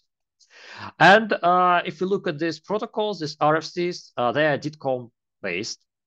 Uh, what it means that DIDComm uh, is a secure uh, private communication methodology built atop the decentralized design of the So usually it's kind of a peer-to-peer -peer communication, transport agnostic, can be run against any on top of any transport, and it establishes a secure channel, a connection between uh, two agents, for example, two wallets. Uh, each of these wallets may have a DID, like did one, did two, uh, the corresponding keys. And these keys are used uh, for uh, encryption, to encrypt uh, the data, to encrypt the data. Sometimes it can also sign the data if some non-repudiation properties are needed. And the protocols, uh, they can be run on top of this secure channel, on top of this DIDComm. Uh, DIDComm, there are two versions, V1 and V2. Uh, V1 was uh, developing as part of uh, Hyperledger Aries, Hyperledger Aries RFCs. DIDComm V2 uh, is being developed as part of uh, Decentralized Identity Foundation, Decentralized Identity Foundation, but it's also uh, being implemented and leveraged by many Hyperledger Aries frameworks as well. And so yeah, DIDComm is kind of a channel, channel uh, communication methodology, methodology. And uh, on top of DIDComm, we can run any uh, protocols or state machines. DIDComm.org website, you can uh, look at it, and it contains a list of various uh, protocols. And uh, one of the main, uh, most important and well-known protocols which are run on top of DIDComm are verifiable credential exchange protocols. So uh, like exchanging issuing credentials and presentation of credentials, it can be formalized as a protocol. But uh, actually any other custom protocols can be implemented like any state machine. And on this website, you can see other examples, not only related to verifiable credentials, uh, there can be even a composition of protocols. For example, an exchange protocol can be just part of some interaction where a credential needs to be issued or presented, but there can be higher level, higher level uh, logic, uh, which may be implemented as a state machine. For example, a game or uh, I don't know, almost many things in the real world can be represented as a protocol. So uh, it was about like the Hyperledger Aries uh, part, DIDComm, exchange protocols. And uh, yeah, one more thing about Hyperledger Aries. Uh, it's Aries interop uh, profile. As I mentioned before, it's very important in Aries. It's not just some random frameworks unrelated. Uh, we uh, Aries actually cares about interoperability quite a lot between uh, the implementations of the protocols. There are some tools, some test frameworks, uh, suits uh, to uh, make sure that it, it is there and there are uh, profiles, kind of a combinations of Aries protocols, Aries RFCs, which needs to be implemented to satisfy these interop profiles. Currently, there is uh, V1 and V2 uh, profiles. Uh, as part of V1, the goal was to be able to establish connections, like connection protocol, uh, as part of DIDComm, uh, exchange credentials and presentations via connections, like issuance and presentation protocols, and also be able to complete a connectionless uh, proof request, proof transa uh, transactions. Uh, as part of V2, V2 is more advanced. It has improved UX. It allows to reuse existing connections uh, out of band protocol. Uh, it improves how connections are established, improves how the issuance and presentation are done, and other things like multiple ledger types, multiple verifiable credentials format, and so on. Okay, uh, so it was about Hyperledger Aries. Uh, then about uh, the next uh, change protocol that we are going to look at, the demo, it is uh, OpenID for uh, verifiable credential. It is an OpenID for verifiable credential. So first of all, let's just consider high-level difference between the common OpenID Connect and OAuth and uh, OpenID for verifiable credentials. So uh, in the common usual uh, OpenID Connect uh, protocols, uh, we have like uh, the issuer or like some identity providers which uh, provide the information about the user's identity. to a verifier. You can see this arrow. Uh, so it's actually the protocol that support uh, authorization, OAuth, or authentication, OpenID on top of it, uh, where the holder authorizes the verifier to access information on her behalf via some identity providers. But um, OpenID for verifiable credentials, they support self-storing identity uh, credential exchange where there is no more this error, this communication between the issuer and verifier and the holder, the holder can actually provide uh, their credentials uh, on their own. So it's actually closer to the concept of self-issued uh, identity providers. Because if we have a verifiable credential on the holder side, then the holder it can also be considered as an identity provider. There is no need for any mediators anymore. But still other kind of many other properties of the uh, protocol can be uh, can, can still be there and OAuth or, or OpenID Connect uh, can still be a basis for this exchange uh, information. So um, just uh, let's look at these three main uh, standards as part of OpenID for verifiable credentials. The first one is uh, what is needed for authentication is self-issued identity uh, provider. Uh, and it defines how the holders can authenticate in a self-sovereign way without any actor. So uh, they can issue a special type of token. Uh, no need to communication with any external parties, no need to communication with the issuers. So in this case, uh, the self-issued uh, provider is the holder itself. And usually these protocols can work together with the presentation protocol. It defines uh, some mechanisms uh, to on top of uh, self-issued uh, provider to allow the presentations of claims in terms of verifiable credentials. So the first approach, we just defined that it's possible to leverage uh, the holder itself to present some information. And uh, the second thing, it's uh, actually leveraging the verifiable credentials to present them. There are multiple options for this uh, protocol. It can be like uh, same device or it can be uh, cross device. Uh, the workflow can be, the UX of course can be a bit different, but yeah, essentially uh, it's the same protocol which works on top of OAuth or OpenID Connect. And uh, uh, the second, the third protocol here, the second group uh, for issuance, it's OpenID for verifiable credential uh, issuance. And it defines uh, a way, an API, and uh, based on OAuth and corresponding endpoints, which can be used to issue verifiable credentials. Uh, there are also multiple options in this protocol with a pre-authorized code or without it, depending that if it's the wallet initiates the issuance or it's the issuer, for example, website initiates the issuer. Uh, it can lead to different uh, UI UX. For example, just a QR code is scanned, or the issuance is done from the wallet, is started from the wallet. And uh, of course, uh, some steps in the protocol can be different, but uh, essentially, yeah, it's still uh, OAuth based protocol uh, where Nexus token is received and can be used to actually receive the credentials.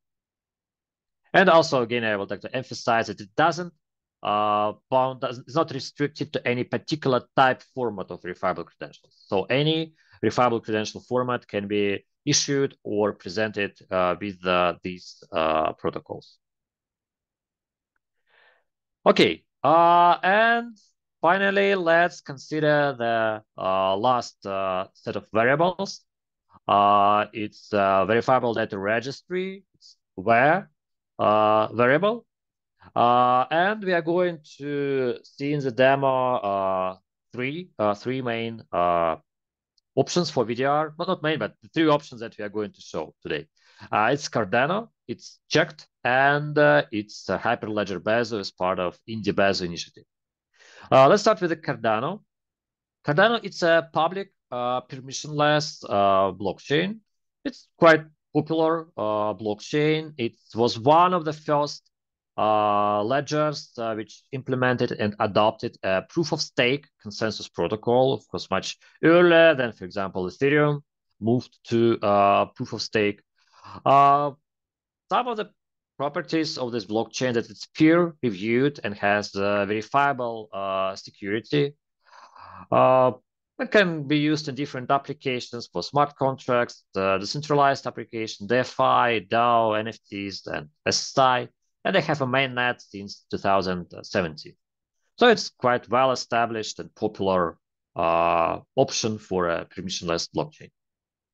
Uh, as for Cardano and SSI, uh, we're going to base our demo on uh, AFJ extension uh, to use Cardano as an AnonCreds registry to publish schema and credential definition. So we're going to show the interoperability between Cardano, uh, Credo, AFJ, and Hyperledger AnonCreds.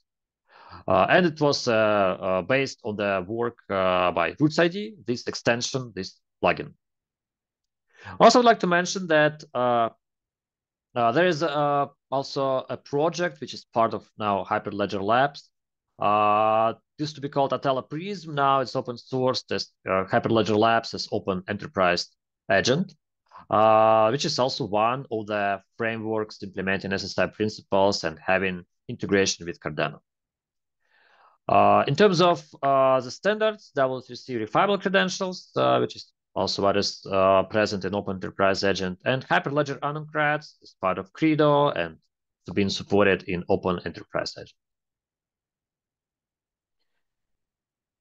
Uh, the second, uh, the second VDR, the second ledger blockchain that we are going to look at today, it's Cheqd. It's uh, Cheqd. It's a public uh, permissionless blockchain.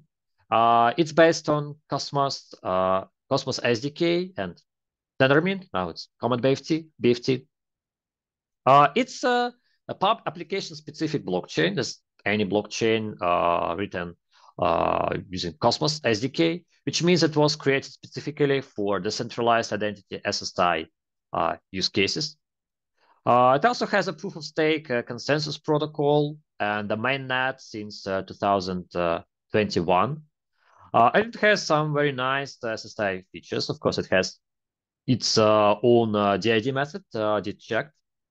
You find how to resolve uh, the DIDs on the Cheqd public permissionless blockchain.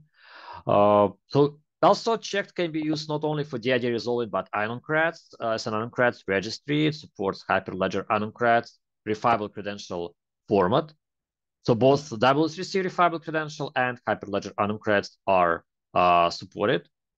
A very nice feature is a DID linked uh, resources. It's possible to use check a Cheqd ledger to link any resources. Uh, but for example, AnonCreds uh, entities can be also considered as such resources uh, with any DID, with any DID. And universal resolver uh, support. And uh, we are going to just use the package, uh, uh, Cheqd package as part of uh, Credo, is part of Credo. So it's just essential part of uh, Credo or AFJ uh, which is available right in the repository. It's just another good example of uh, interoperability between like Hyperledger, non-Hyperledger, Open Wallet, and so on.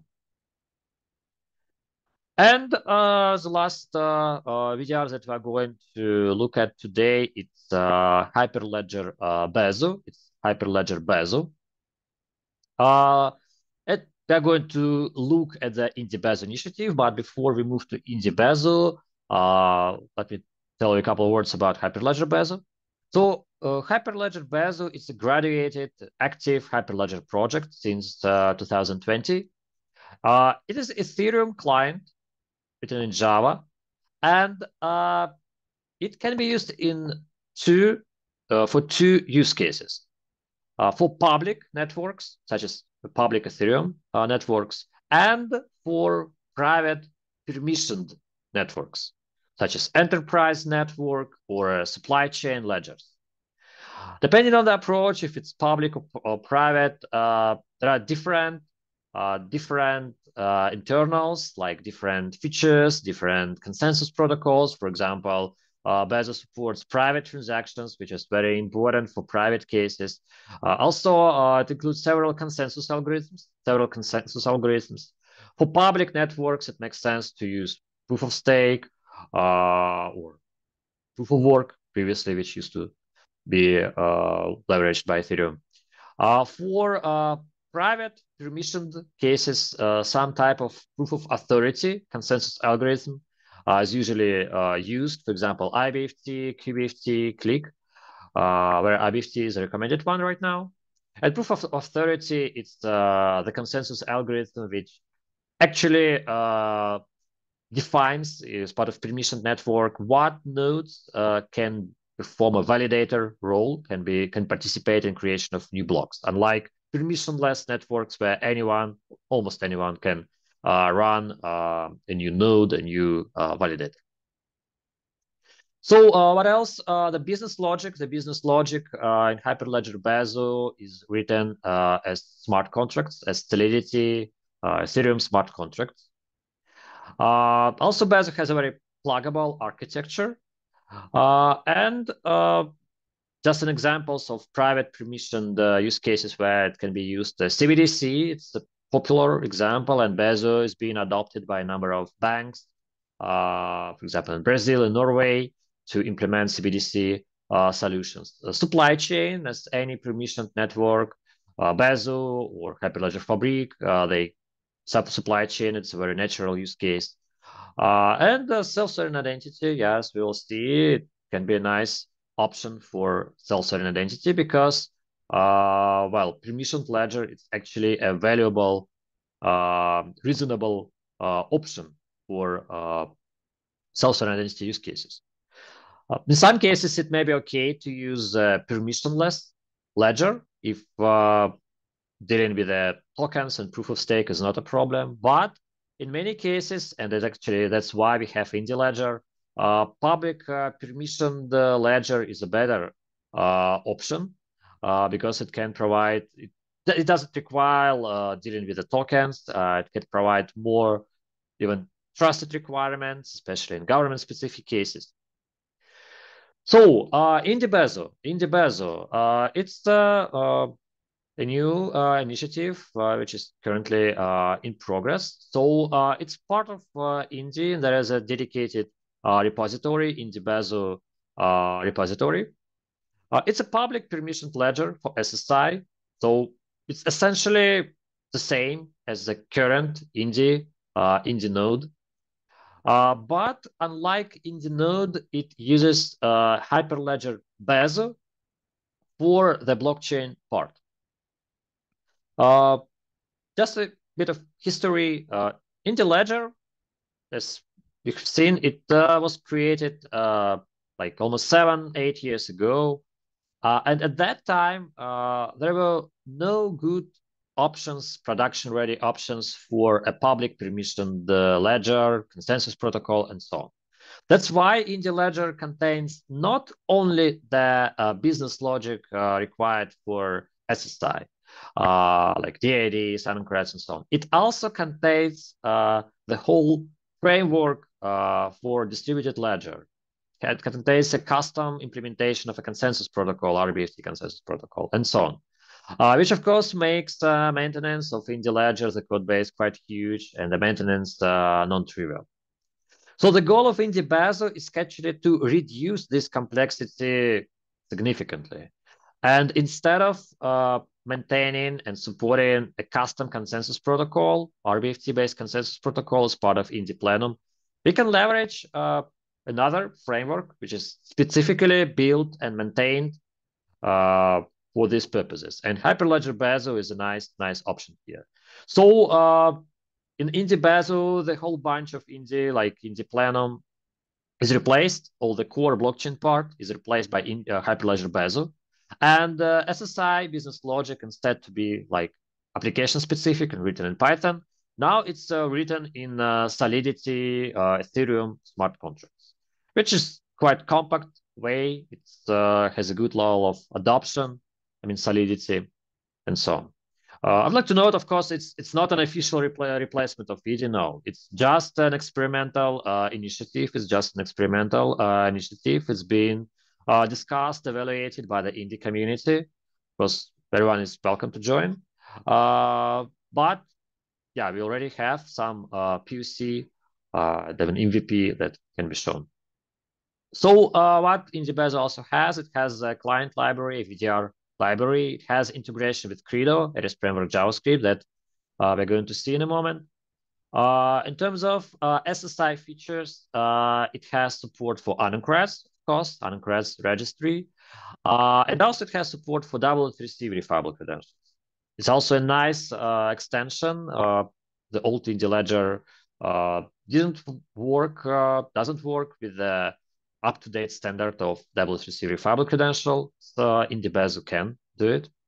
And in terms of DID methods, uh, right now Indy Besu has a support of DID Ethereum. It's like a standard method for Ethereum-based uh, networks uh, with nice properties.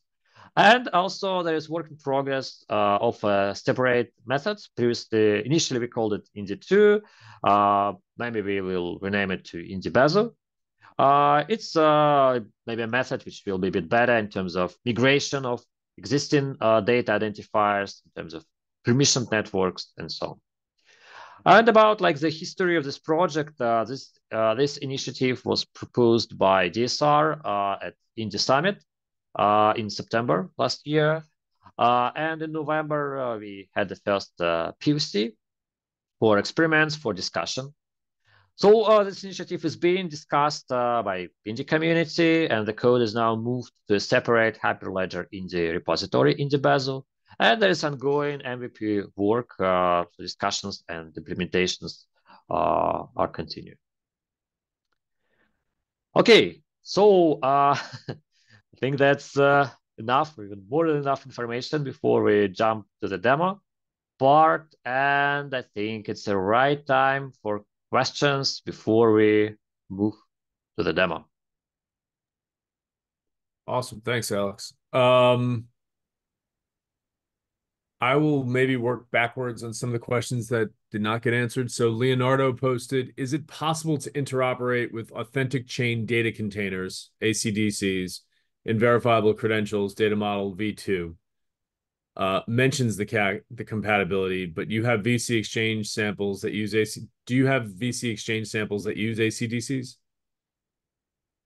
Uh, well, uh, no. As part of our today presentation, we don't uh, we don't cover uh, ACDC and KERI based uh, things. Uh, so it's a bit out of scope right now. Yeah, they use a bit different uh, standards in some ways, but for example, DID-KERI is one of the DID methods, which is compatible to DID method uh, specification. So even there, there is, of course, some level of interoperability. Uh, as for ACDC, I think it's a bit more challenging. Uh, but, well, you see that uh, even in case of AnonCreds and W3C verifiable credential, we already have examples, and not just examples, the code, the working code, uh, which can be used to represent AnonCreds uh, in W3C verifiable credential. And for other methods, it's also not that complex to implement it if needed in some cases. Okay, thank you. Uh, Raganash asks, can you explain a little bit ZKP and AnonCreds? What are the entities involved? How are ZKPs, zero knowledge proofs, generated and verified? Yeah, uh, I, I will try to uh, just briefly explain it uh, because it's, it's quite a complex, quite a complex uh, topic, uh, but still. So, um, what is important there? That uh, on the holder, on the holder side, uh, there is a concept of linked secret. It's not a usual standard private key, but let's consider just some secret which actually links multiple uh, credentials together and li links these credentials to the holder. During issuance, uh, during the issuance, uh, this linked secret is uh, presented to the issuer in some blinded form, not as is. And uh, uh, the issuer issues a credential, like the claims itself and this blinded linked secret, in a specific form. The signature is quite complex. Uh, it's RSA, currently it's RSA based uh, signature for the main uh, claim and uh, it's elliptic curve based uh, for revocation. For revocation, it's a separate signature. Uh, and then uh, what is the most interesting and important here? That when the holder presents, creates a verifiable presentation for the verifier based on Hyperledger AnonCreds, uh, the holder doesn't uh, disclose, present the credential as is. Unlike, for example, many cases in W3C we where credential just sent to the verifier, verifier as is plus some data.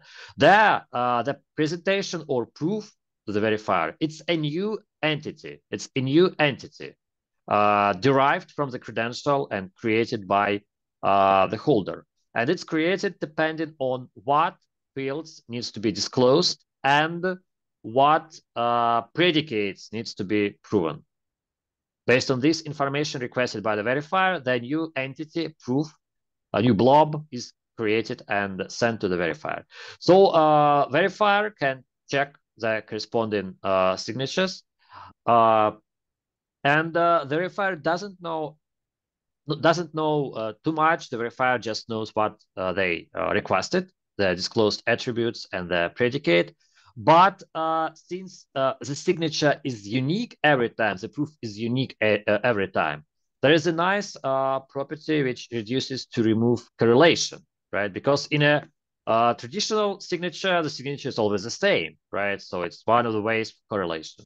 But there, the signature is unique. It's always a zero knowledge proof, right? kind of uh, non-interactive zero knowledge proof. Uh, that's why uh, it reduces a correlation. It's uh, more privacy preserving. So it's first of all, uh, we support selective disclosure. We can disclose only part of the attribute. The second, uh, predicates. We support predicates. The third, the signature is unique every time. That's why it's uh, very hard to link. Uh, just in terms of signature, it's impossible. Uh, and the fourth thing, revocation, it's really advanced technology for revocation is used based on accumulators. It's also anonymous, so that uh, the verifier doesn't know, and even if we look at the ledger, we don't know what exact credentials are revoked. So anonymous revocation is the last thing. So uh, if you're interested in learning more, uh, there's an AnonCreds spec and there is corresponding uh, uh math, uh, mathematical uh, paper as part of URSA and the libraries, which kind of has all the necessary formulas and details how it works. Cool. Thank you, Alex. Uh, AAA has a question. What are the best points of research on key management? It might be out of scope but authentication, threshold signatures, and end user distributed storage backup, I expect, is part of the landscape somehow? Uh, yes, it's also important. It's also quite important things. that can be part of any profiles, which may define some standard ways. So uh, first of all, what is important that uh, the keys, uh, and especially we're talking about uh, the holder side, are stored in the user uh, wallet which can be a mobile wallet or it can be some cloud wallets. And uh, uh, here there is also no just one standard approach. It may be different. Uh, in some approaches, uh, they may require usage of some hardware, uh, hardware secure modules. Uh, in some wallets, the properties of operational system are used, especially on mobiles. secure enclaves can be used. Uh, regardless of the approach, of course, the wallet needs to be secured, the data needs to be encrypted, uh, the keys should not, you know, some best practices should be applied, uh, should not live in memory and so on. Uh, as for backup, as for backup, that's also very uh, important uh, thing in SSI because, well, it's a natural question: what happens if uh, uh, the holder uh, loses the wallet, right? If the wallet is lost, what should be done. And of course, one of the approaches there is just to reissue all the credentials. A second approach there is to do some kind of a backup. Uh, there are some technique uh, which uh, try to kind of link the backup recovery with biometric, with user biometric, and that general access to this wallets can be linked to biometric. but yeah, there is no just silver bullet. It's kind of multiple usual best practices for key management and for wallets. Uh, plus, it can be specific for particular uh, use cases, operational system, environments, profiles, and so on. Awesome. I think we'll take one more question, then we'll jump to uh, maybe take a three minute break and then get into the demo, Alex. Um, VC presentation has the signature of the holder. This VC presentation can be used by verifiers to misuse as holder to other verifiers. How to basically prevent this type of impersonation as the holder? Yeah. Uh, well, the thing that uh, this usually a new signature created uh, for every new uh, verifier. So it's usually signs against some nonce. That's why it's a fresh, new, uh, unique signature, right? Uh, it's one thing. The second thing uh, that, of course, uh, any credential uh, can be used in a malicious way if it's not linked to a biometric. For example, if uh, a father gives access, provides access to his phone to a son, then son can use all the credentials of a father, right? This. But uh, the usual way to prevent this situation is uh, uh, kind of leveraging some biometric in addition to just claims, right? So, and it actually applies the same in the case of verifier. If, for example, a photo or some uh, biometric providers are involved in terms of verifying fingerprints, then uh, it's not easy to reuse uh, the same data maliciously. Yeah. So two things, the signature is always the same every time, plus usually in many cases, uh, some additional checks are required, uh, such as biometric to link the actual credential to a particular owner, the holder. Okay. Um, let's take a three minute break in case anyone needs to use the bathroom, and then we're going to get into the demo. Is I do see your uh your question there, and we're going to try to get it answered when we start up again in about three or four minutes. So it right now is 10, 103 my time. We'll see everybody at 107. So three minutes, Alex, and we'll get going again. Thank you. Thank. In case you got to use the bathroom or, or get a cup of water or something.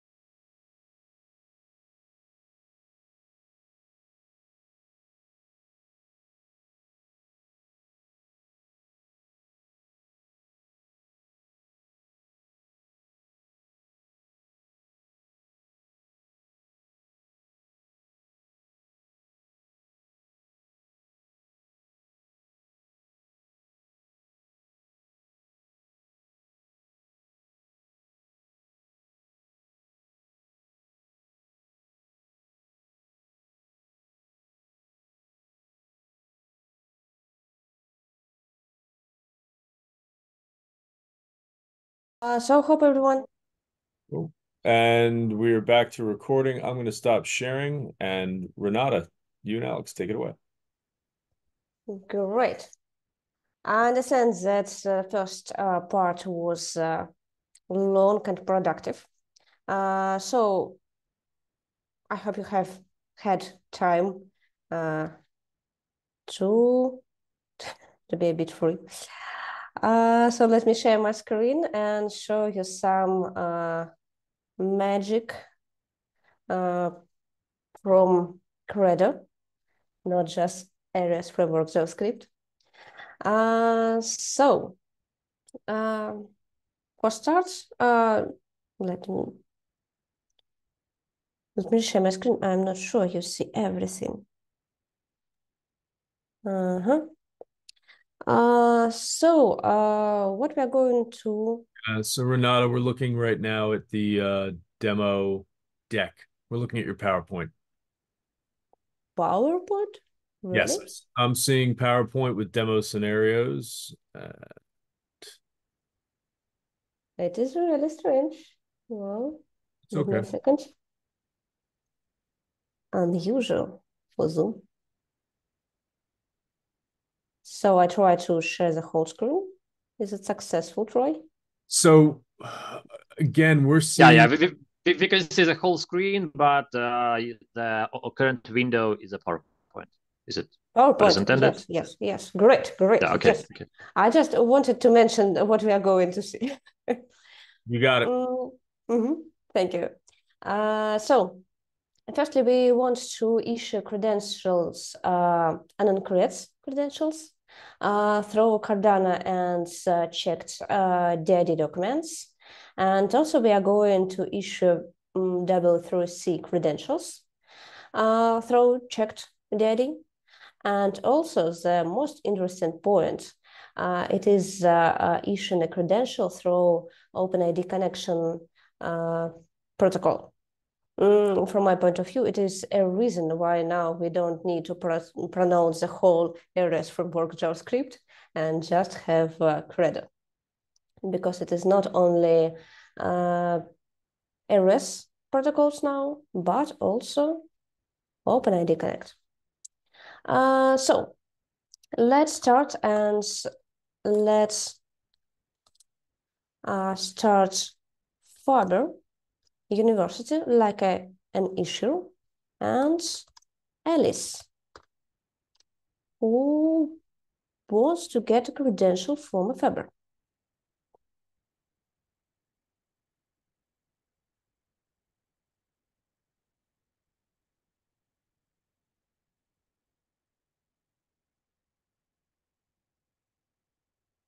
Okay, uh, as a first step, uh, we need to create a peer-to-peer -peer connection uh, between uh, Faber and Alice, between issuer and credential and holder. So let's create a link uh, to have an out-of-band connection. So connection is established, it's been established. Uh, now, on the whole, on the issuer side, let's set up an issuer. Uh, for example, we can create a DID and schema and credential definition one creates for uh, DID Indy.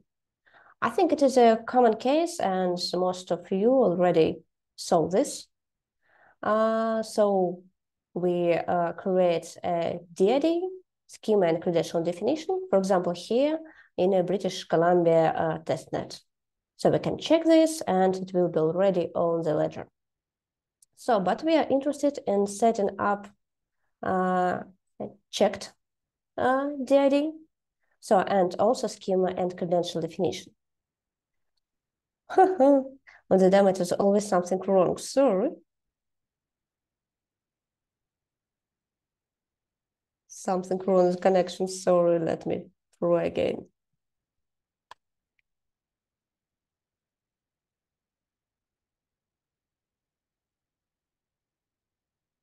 Oh, I can tell you about this error while we are waiting. Uh, account sequence, account sequence uh, mismatch. It is an error of using Cosmos SDK uh, CLI. Unfortunately, they have this issue, still have this issue. It is an issue of uh, um, comparing uh, the current data on the different nodes. So we spend a lot of time trying to fix this but authors recommended us just stop this. So establish the connection. Uh, let's set up an issue.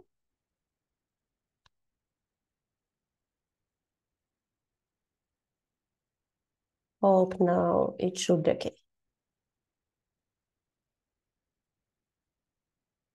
Oh, sorry.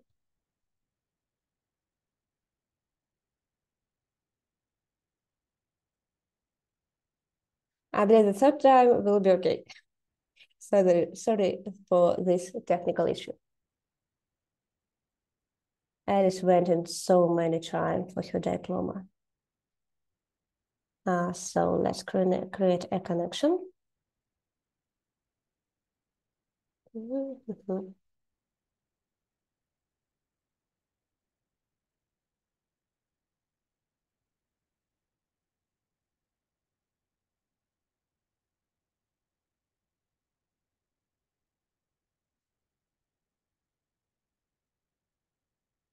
Let's start with an issue and let's start with Indy, like an original DID. And during this process, we can create an issue ID. And let's start chat.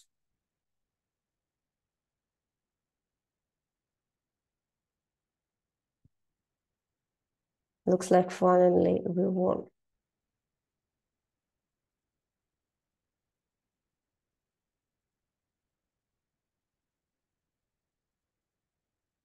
Yeah, so uh, we can check this uh, identifier through uh, universal resolver.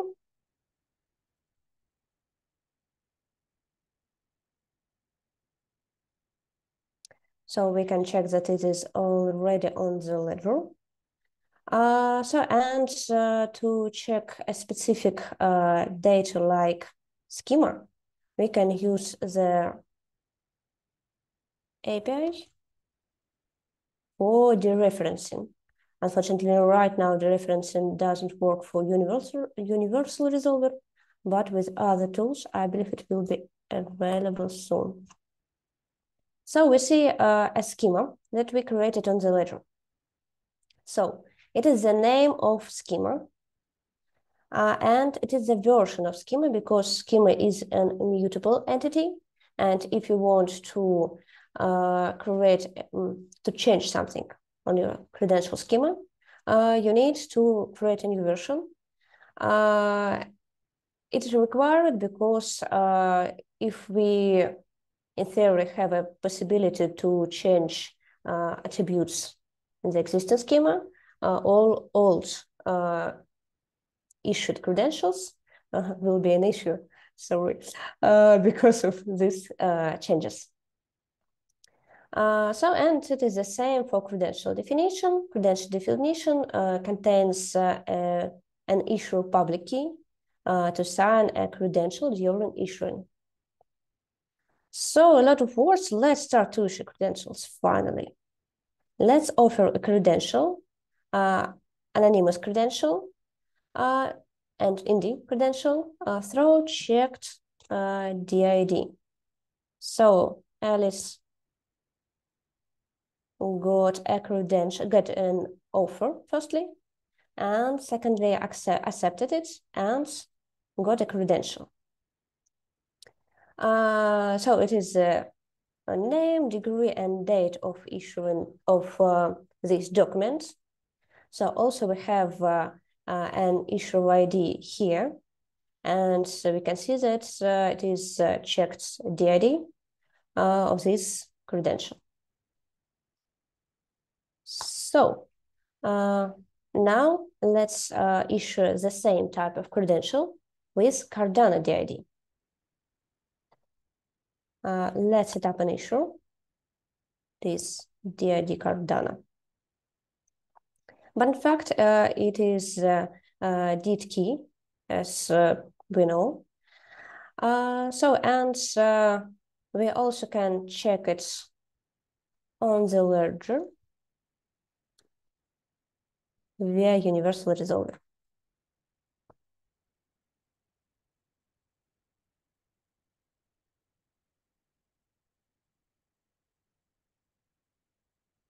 long pink. While we are waiting, I can show you, for example, uh, Cardano Explorer. So there are our transactions. Let me update it with our DID documents. And uh, for example, uh, and Cheqd Explorer uh, with our last transactions. It is not our last one, but there are some that is create resources from us. So let me show. Uh, so, and finally, speaking about Cardano, yes, it is resolved. It means that we created a DID key. Uh, we created DID documents uh, by uh, AWS framework, AWS framework JavaScript. And uh, we put this DID document to Cardano Ledger with this identifier. So now let's offer credential and create credential with this created DID. So let's accept it from Alice side, from the holder side. And we can see uh, almost the same credential because it is the same uh, credential type, uh, but with another issue ID. Now we have another uh, method, and it is the DID that we created and checked right now previously. Uh, during this uh, issue, uh, setting up the, this issue, we created also schema and credential definition in, on Cardano Ledger. So now, when we finished with uh, AnonCreds, uh, let's uh, create, a, let's issue a credential, uh, W3C credential. Let's start with the, the ID Cheqd. And let's offer this type of credential to Alice. So Alice can see a credential preview that uh, she can accept and get this type of credential. Uh, with, for example, degree uh, and uh, some description of this document. Uh, so credential received means that everything is okay. Also, can offer credential. Mm, sorry, we can. Oh, we already created this credential. Sorry. Uh, so we also can set up issue for W3C credentials uh, through DID key. Uh, like we did it for Cardano. And now we offer credential, this W3C credential. So we also have the same preview because it is also W3C credential. But here we can see another issue ID with DID key method. Let's accept it. And through the Aries protocol, we should receive this credential from the issuer. Uh, so just an overview, uh, we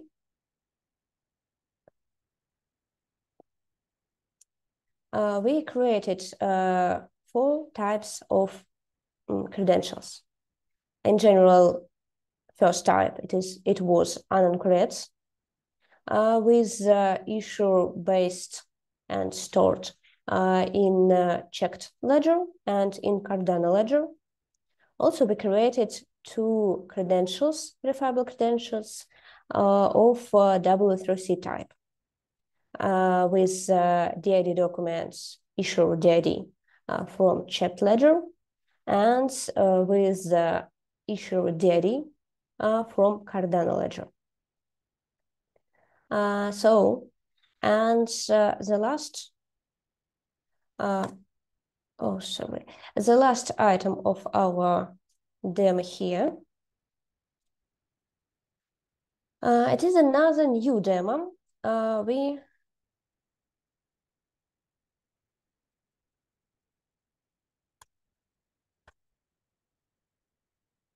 no, let me clear. Uh, so it is another uh, type of demo. It is another type of protocol this OpenID connection verifiable credential protocol. Uh, it is just um, in progress in implementation right now. We used uh, uh, just a feature branch for this demo. So, but it is, it works and just some preparations are needed.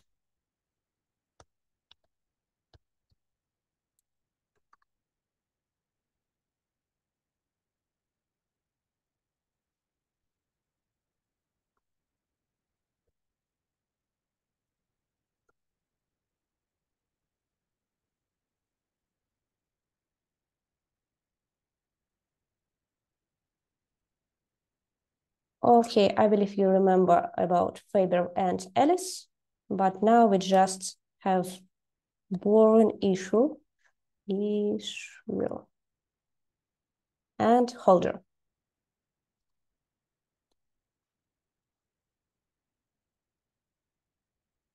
Logic of uh, issuing a credential here uh, will be the same, uh, just another protocol.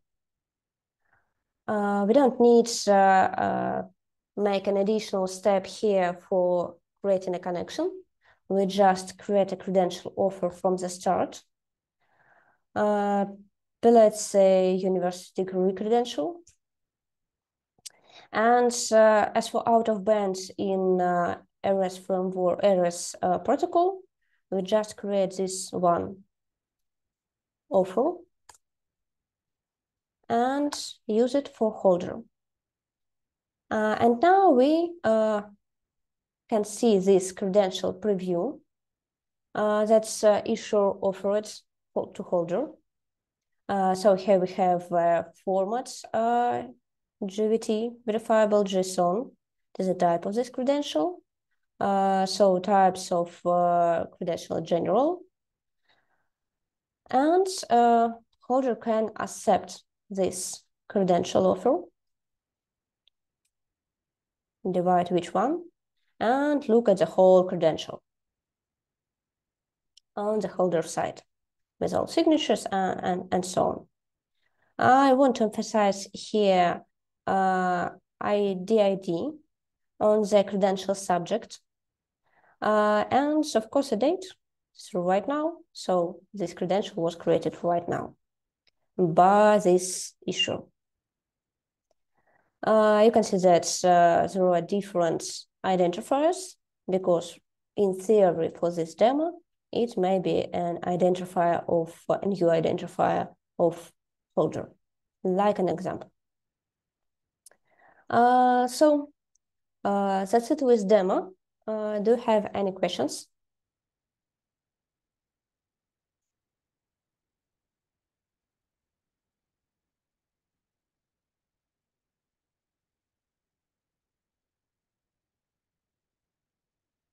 So I believe my colleagues helps help with uh, questions in the chat. And I wanted to say thank you for this hot discussion in the chat. It is the first time I remember this, a lot of questions and a lot of answers. Uh, okay, is there no active questions about demo? I will be happy uh, to uh, continue with the third part of our event.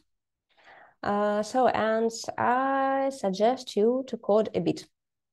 So I am ready to start from the scratch with you. So here I have a repo. Let me post. Thank you.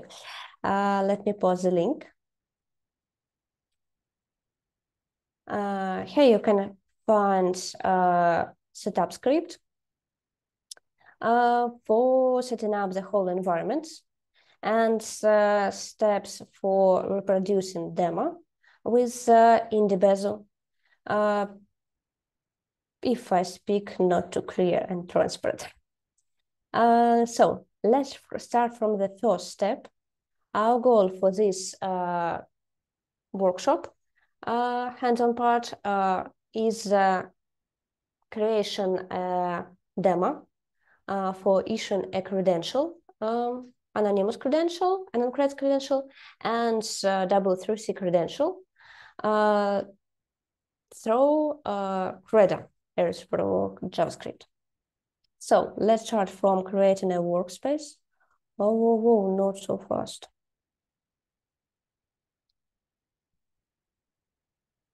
Uh, I suggest to use uh, Visual Codes. And now, while we are waiting for creation, usually it is fast enough. Uh, let me copy this link to chat.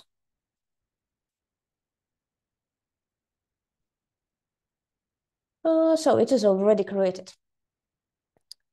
Uh, the first thing that we need to do uh, is uh, set up an environment. Uh, so here we have a setup script and nothing more to be sure. Uh, we need, we have to use sudo.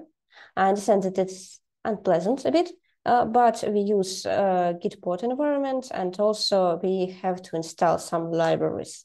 There's a reason of using uh, sudo here. Uh, so I want to describe uh, what we are going to do with this script. Uh, so firstly, we need to uh, set up in the Besu uh, ledger. So we clone it and and execute a run script. So here we can see that a lot, a lot of different pages were created. For example, this, this one, uh, it is Prometheus, as far as I remember, where you can see um, metrics for Besu ledger. Uh, also, there are not this one, one of them anyway. is Grafana. Uh, so in Grafana, you can uh, look uh, on the progress uh, of your ledger local setup. So I want to open it here. There it is. let's say instead of Big Dipper.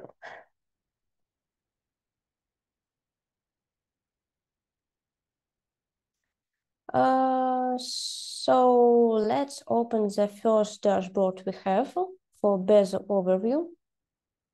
So here we can see some information uh, about uh, validators.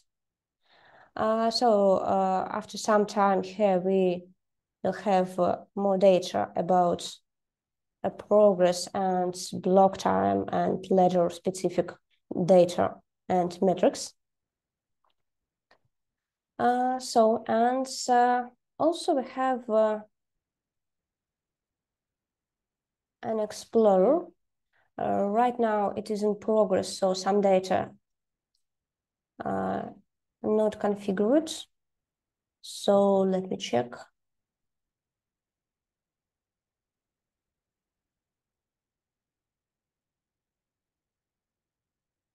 Mm, I believe it should be somewhere here if it works.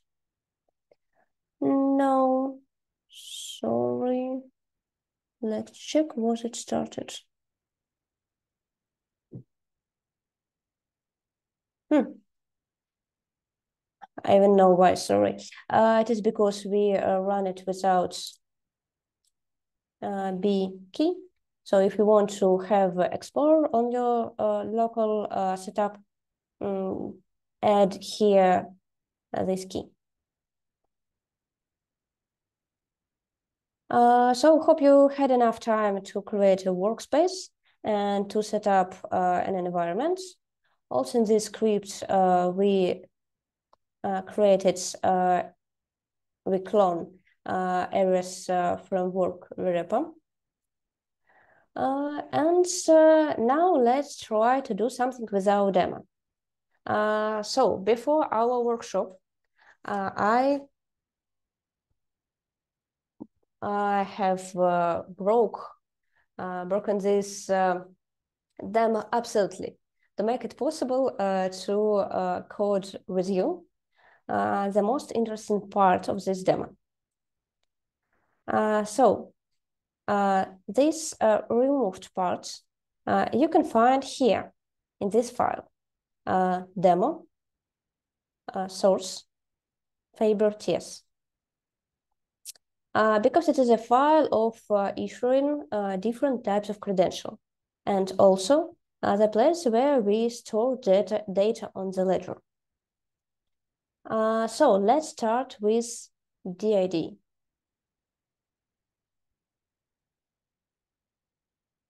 I hope it was removed here. Because of a lot of red, I believe yes. Uh, so uh, let me continue with our presentation. Uh, here we, we are going to uh, issue an, an AnonCreds credential and W3C credential and implement this part where we need to issue a credential. Uh, so the first time that we are going to implement is storing DID documents uh, on the ledger, on the base ledger, what is important. Uh, right now, we use Ethereum, DID Ethereum method. so also we had the Indy2 method, but decided to change a logic of implementation here. And uh, right now uh, we are designing uh, in Besu method. Uh, but let's start with Ethereum because it is well-known method and so it is easier to understand what is going on. So let's start with uh, DID creation. I believe here in the code you have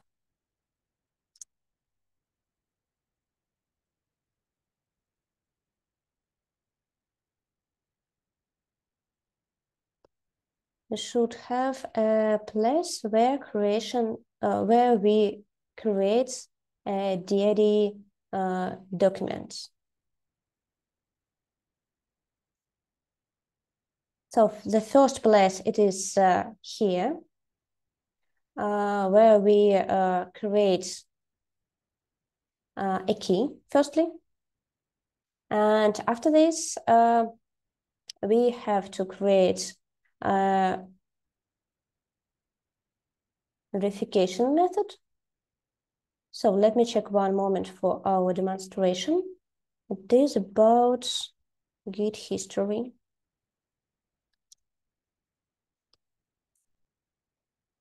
To be sure that we are on the same uh, on the same branch.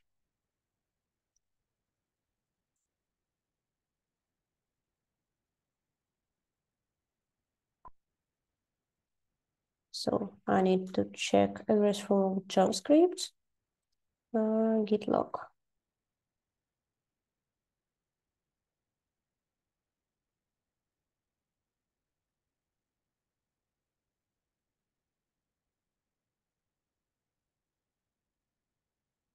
Okay. It is a correct branch, but looks like uh, we can use uh, more actual branch here.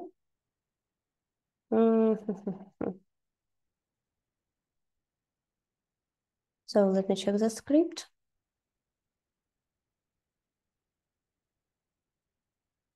The best in the best demo. Uh, yes, I believe we can use another link here. Uh, so to make it more actual, uh, let's change setup script to another one.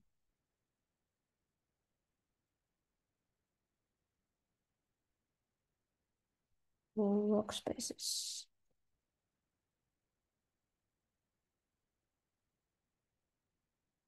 So let me find another one.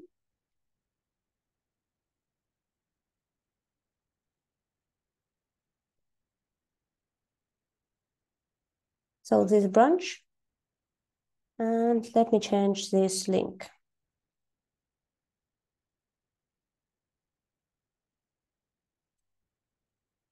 To make it fast on the GitHub.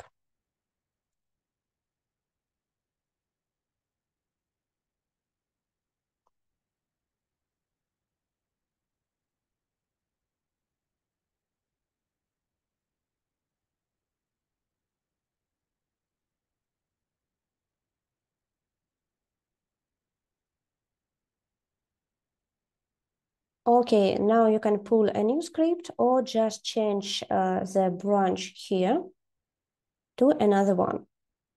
So let me share a new branch ls.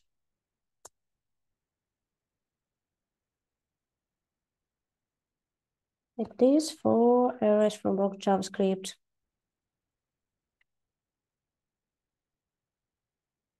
So, and now let's change branch here for our demonstration.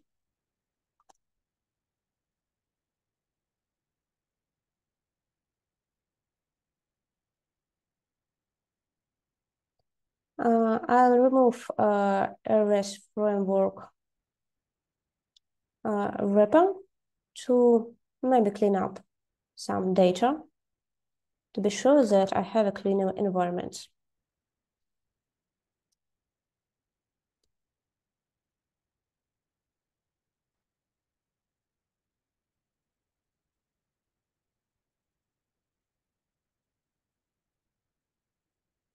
Okay, and set up the script again.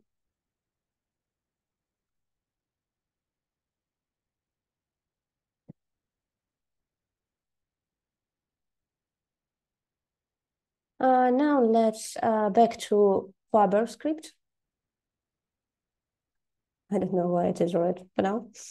Uh, so, and back to our uh, to creation of uh, uh, DID documents as we started.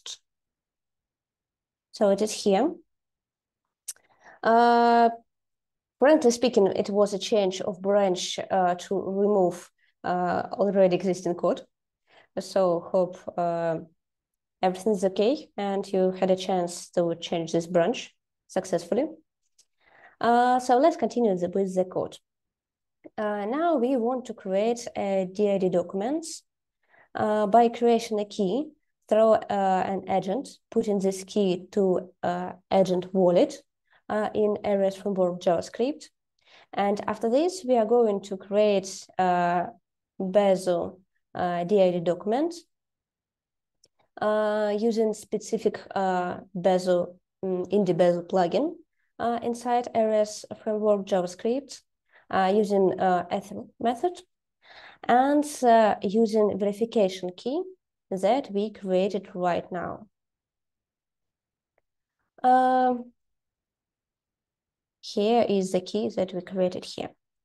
Uh, so I can just put it but I understand that it will be too demanding uh, not to share this code with you. So let me share this in the chat. Uh, also, it will be available uh, in presentation.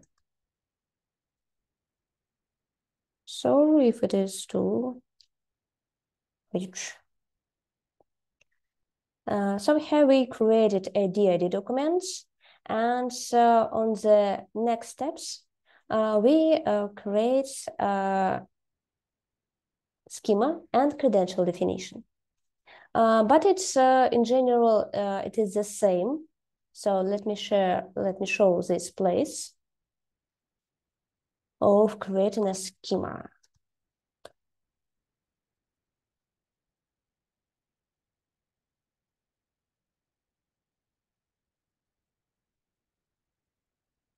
register a schema method, uh, create a schema, uh, it is AnonCreds entity uh, on the ledger. And uh, here, where you use a specific module, uh, you can register uh, a schema on the ledger. And also in Aries framework, on Aries framework um, site. so the same for credential definition. Credential definition. We register it uh, inside Aries framework and also uh, on the ledger side. Uh, it is possible not to use uh, verifiable data registry uh, for storing these entities, uh, but as we discussed it in, in the chat, it is a question of trust. So it is better to store them somewhere to make it possible for checking uh, these entities and this public key uh, on the ledger, like a blockchain distributed um, storage, uh, instead of checking it uh, from the one agency on the some uh, Aries Framework JavaScript uh, based um, agency or something else. So now when we created a DID documents. Ping me if you have any questions right now or troubles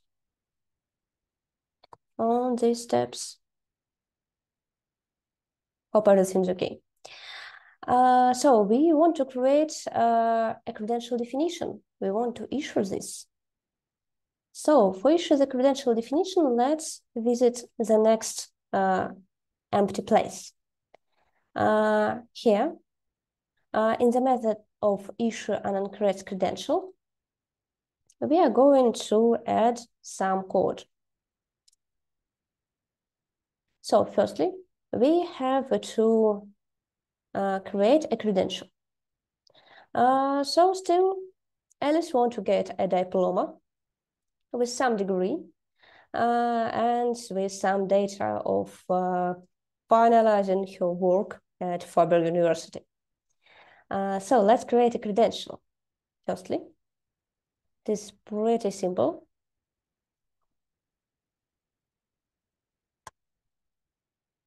So the most uh, interesting and important place here may be a credential definition identifier.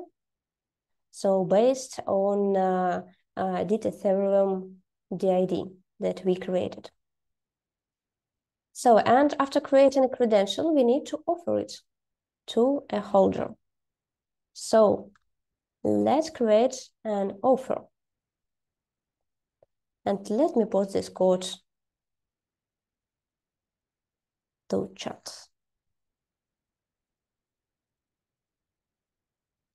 This for creating a credential, and it is for offer a credential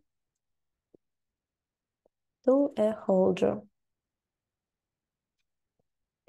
And also uh, the same method, uh, we have to wait uh, Alice answer for this credential.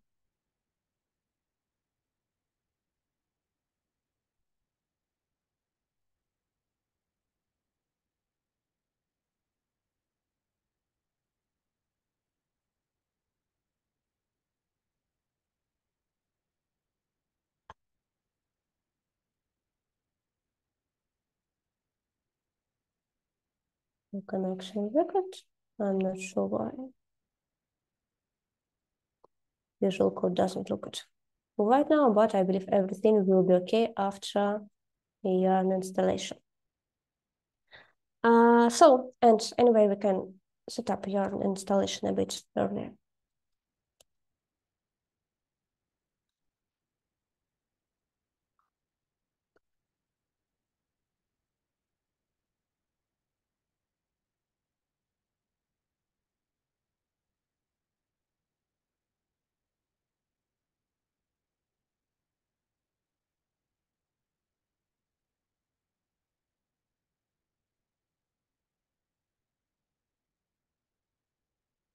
So let me stop an environment a bit.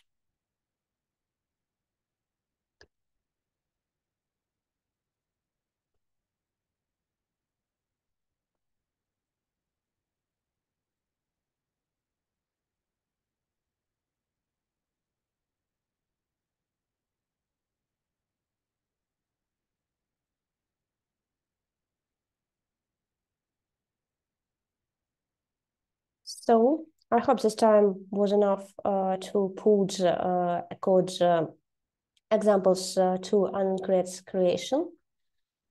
Uh, and let's continue with uh, JSON-LD credential.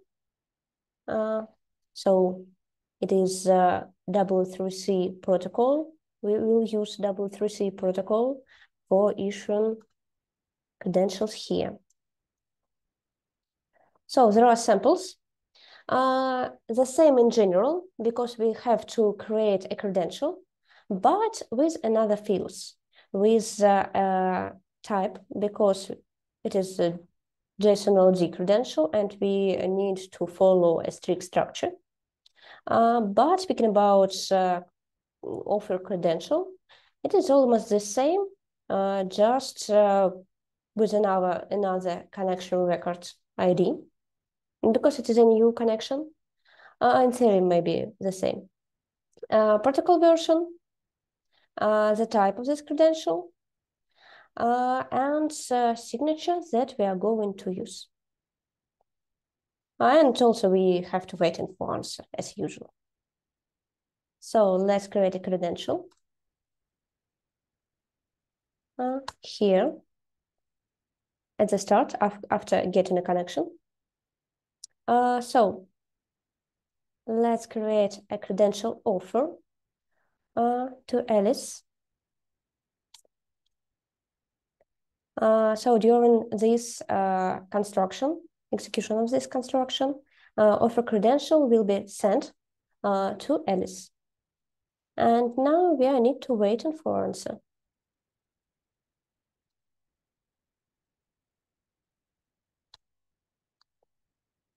So let me post it to the chat.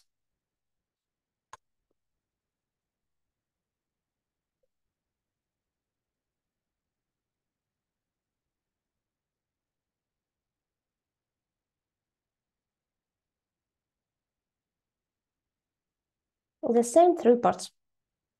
Finally, that's it. Uh, we created DID document. We uh, issued uh, we implemented uh, credential issuing for uh, AnonCreds. And we also implemented issuing for W3C uh, credential here. So let's try and look. Was it successful? So if you have uh, any questions, please ask. So I will be happy to help you if you have any issues with this coding. Uh, so we need, uh, firstly, uh, what steps were here? Uh, we installed a correct version of Node. And after this, we executed yarn install uh, to get all libraries that we needed. And now we can start Alice and Faber, as we saw in previous demo. So in general, everything okay is okay, just some troubles with, let's check. Maybe BLS signature, it's okay because it is not included in our demo for now. So let's tap Faber. And also let's start with Alice.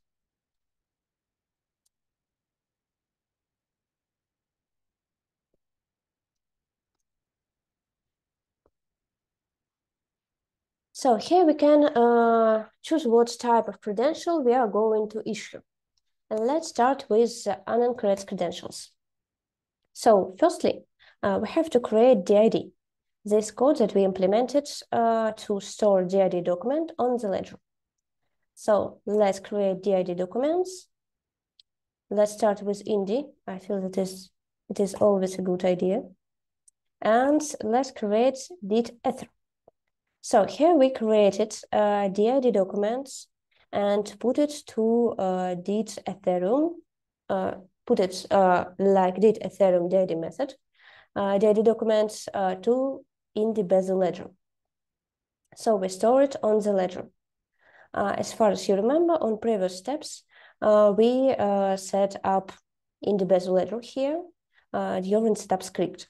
And now we have a connection and can put this document to the ledger. Uh, now let's create a schema code with this so so some troubles let's check maybe some code issue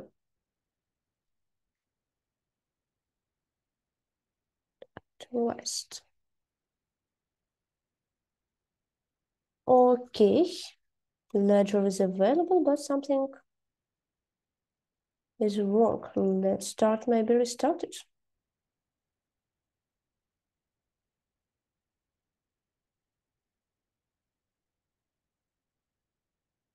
So, and let me check the declaration. Maybe we lost an account after this.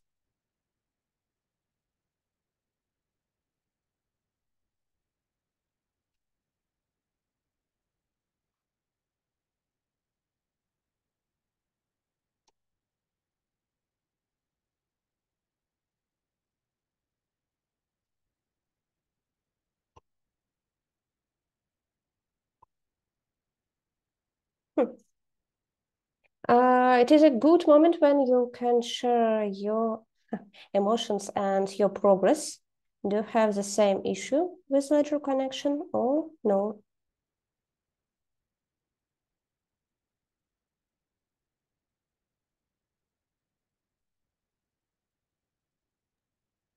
Yeah, I think uh, the error that sender account not authorized to send transactions are probably something the role uh, assigned to the sender.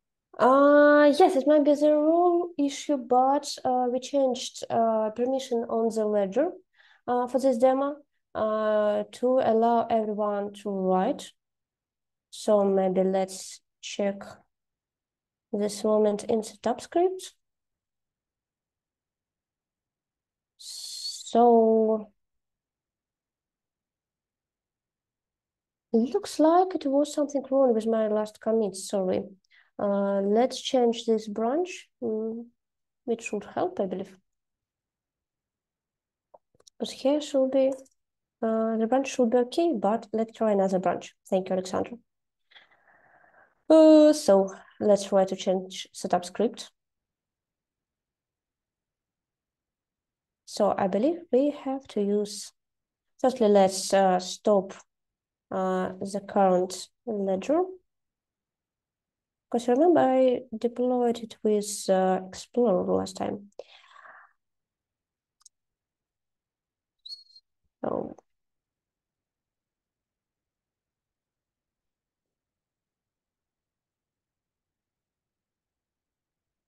uh, let's first start with the ledger part. Uh, for this, we need to visit. Mm -hmm. It is the error, I believe I saw. It is really a wrong branch. And the node.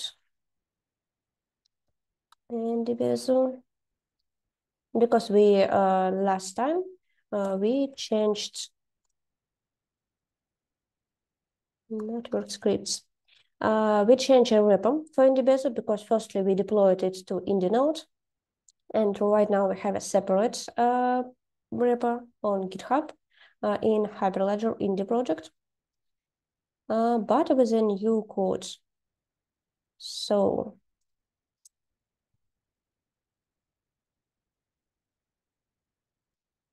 let's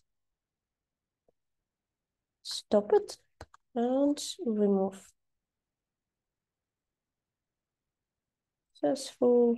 Anyway, let's remove it.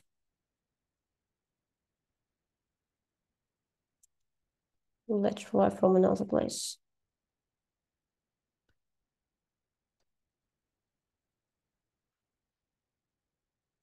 Because we started it from the um, root uh, directory, so suggest to use that caches.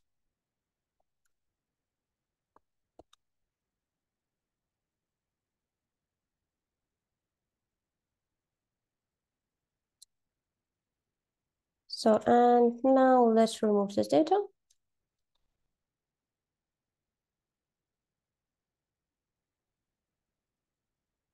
Okay. Uh, so I suggest to change uh, branch to a new one. Uh, let me open it in a new window. So a new repo replaced in Hyperledger is here.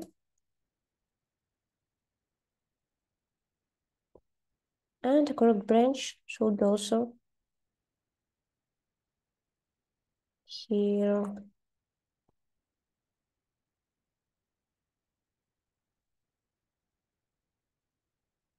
It is a new branch that you can check out for the ledger part. And let's use it for our code.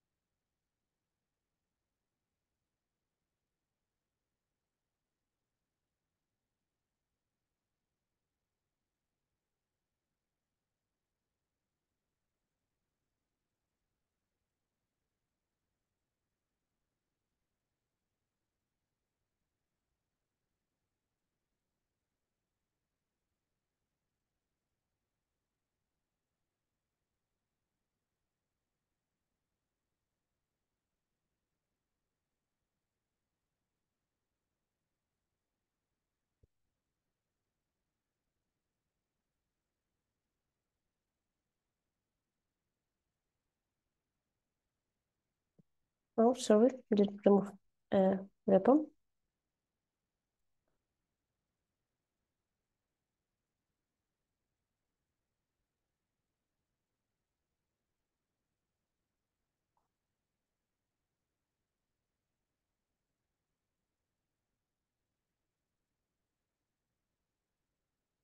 Mm -hmm.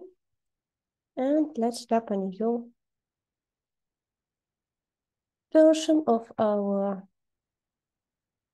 code.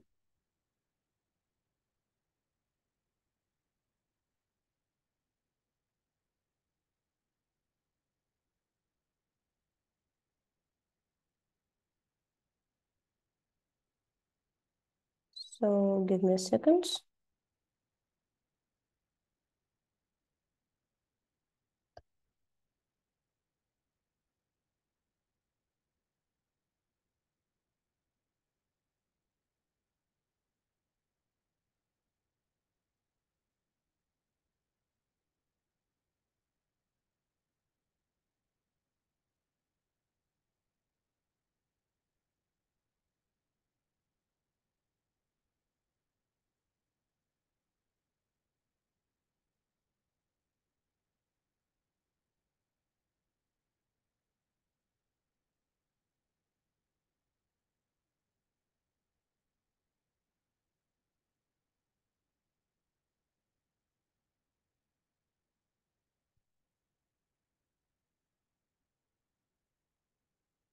So while we are waiting, let's check Explorer for now.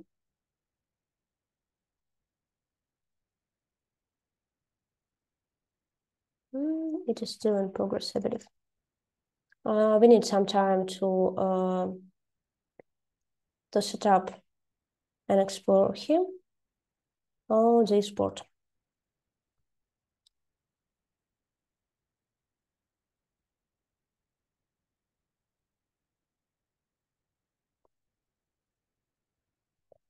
Okay. Anyway, uh, let's uh, back to our demo. Oh, it is Explorer where you can see, uh, for example, transactions. The list is empty right now uh, because we didn't uh, create any DID documents. Uh, and resources, let's do it right now.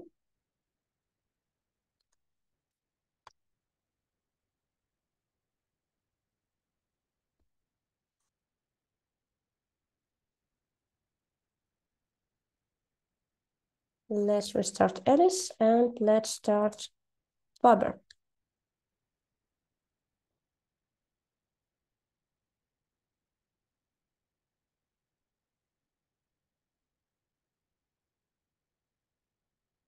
So by uh, different steps, uh, it is the same demo that we saw. And here on slides, if you want to try it after this call, uh, there are steps that you need to execute to issue a credential. Let's try again with a new ledger.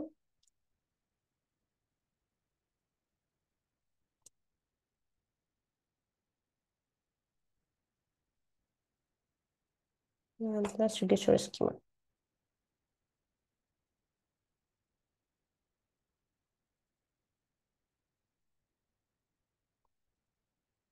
Okay, now it was successful. And uh, it was a good point where we can uh, we could uh, see that uh, without a good connection with the ledger, we can't create uh, a schema. Uh, now it is creation, created. And now we have to create a credential definition. also on the ledger.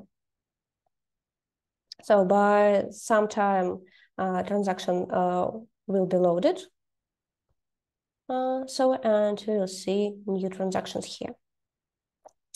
Uh, so we created a credential definition on the ledger, and now we have uh, to uh, issue a credential.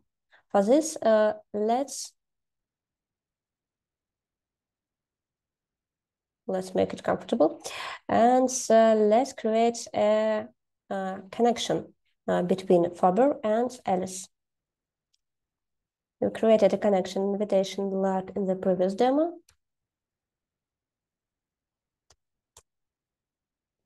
Uh, so connection established, and now we have to uh, offer a credential, an request credential for Alice. Alice uh, received a credential uh, offer and can see uh, what is inside this offer, inside this credential, and accept credential. So let's go to credential. And now we can uh, request a proof for this credential. Whoa, we lost Alice. Sorry. I did it too fast.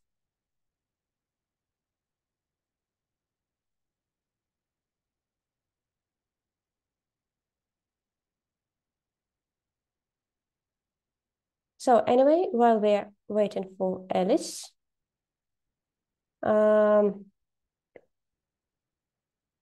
it is already here, we can uh, create a new connection.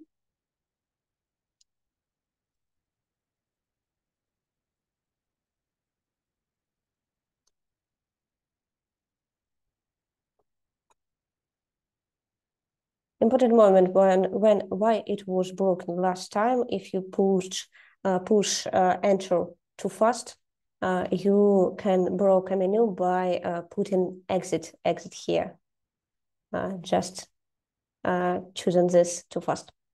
So we have connection. Let's issue credential and check it. Offer credential. Accept credential.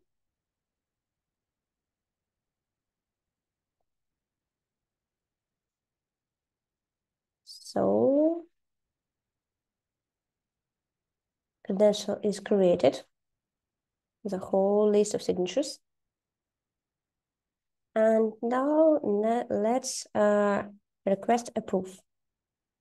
So there is only one credential for, it means that we request this proof.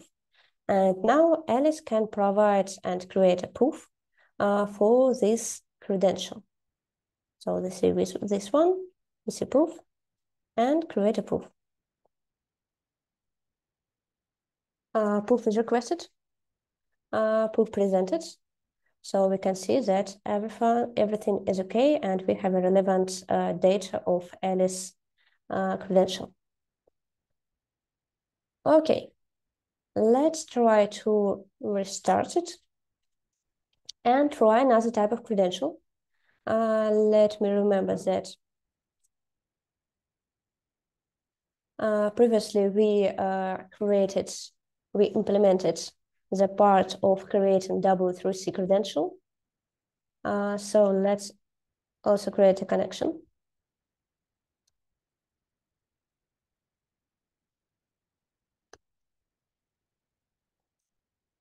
Uh, let's create a DID.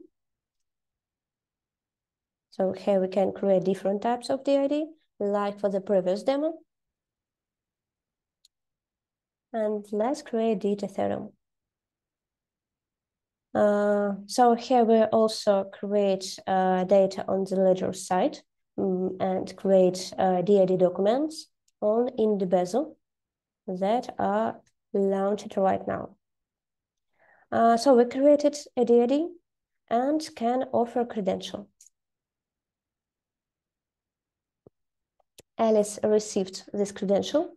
You see that it is a bit bigger uh, because of formats uh, that we describe here, uh, like a JSON LD credential. Uh, here JSON credential, uh, but here you can see uh, specification links and others that are specific for LD credentials. Also, it may be used. so, and date of signature and overview of this credential here.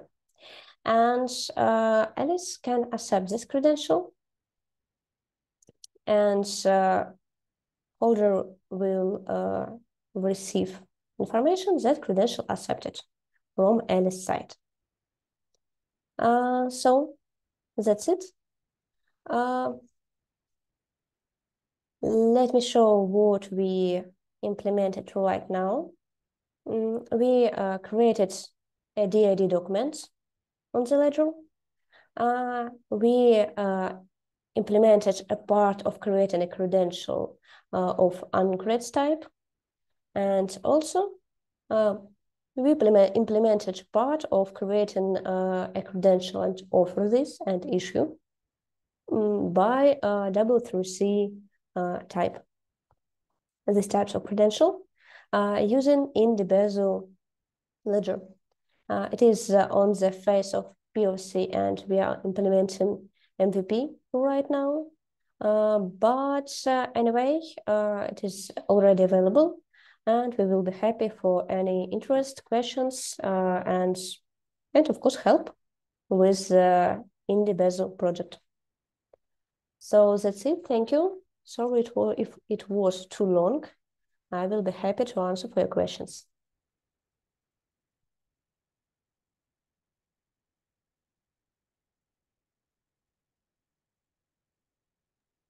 So uh, Shibu asks, thanks, got it. So when we try the demo, do we check out Indy Besu demo using did ether branch? Was I muted? No, I wasn't. Uh, Renata, did you hear that question? Uh, so I see the... There's a question in chat. Yeah, yeah the question There's in a question in chat.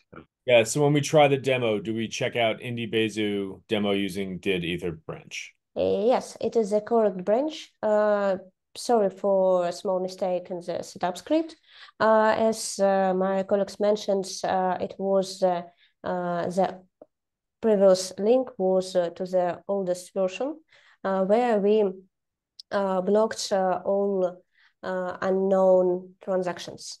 Here in the on this branch, we have open role map where everyone can push uh, the transaction. So let me uh, push and use setup script uh, to fix this confusion. So are there any questions? Ooh, any other questions in chat? Uh, Alex and Artem were uh, diving in on questions as they came in, so we may not have any, but we'll give folks another couple of seconds. If they do have a question they'd like to ask Renata based on the demo, please feel free. Uh, Fairuz asked in chat, can we use NoSQL SQL databases as AnonCreds VDR? If it's possible, then what steps would be followed to implement that custom VDR? Um, that's a good question. So, uh, general, it is already here because uh, if we speak about uh, Freda, uh, Aries Framework JavaScript X, uh, it is already have uh, no as far as I remember, no SQL database where you can store uh, uh, DID wallet, firstly, uh, and uh, DID, public key of issue, credential definition, uh, schema, and so on for different types of credentials on Creds too. Uh, so, and uh, it's possible to use uh, this storage. And also it is possible to change not by plugins, but uh, change the storage inside Aries Framework JavaScript. So yes, of course, it's possible to already in Aries Framework JavaScript. Yeah, I'd also like to add that uh, basically is Ledger, Hyperledger uh, AnonCreds is Ledger agnostic. So it means there is like kind of an interface to implement for this registry for the VDR. And you know that this implementation of the interface can be anything. It can be Indy Besu, it can be Cardano, it can be Cheqd, any other blockchain, or it can be something in memory or a database. So it's uh, right now one of the advantages of uh, Hyperledger AnonCreds uh, specification and implementation that is really ledger agnostic and uh, you can have any implementation uh, that are suitable for particular cases in terms of trust uh, for a VDR. Awesome. Thank you, Renata and Alex, for, for that answer. Any other questions, please put it in chat. Um, we don't want to leave your questions out, although Artem and, and Alexander are doing a fantastic job knocking them down in chat. Um, but we want to give everybody a chance. They do have a question before we jump over to the next part of our workshop. All right, back to Alexander and Renata. Oh, here. Oh, uh, no, we just answered that question. Thanks, Fairuz.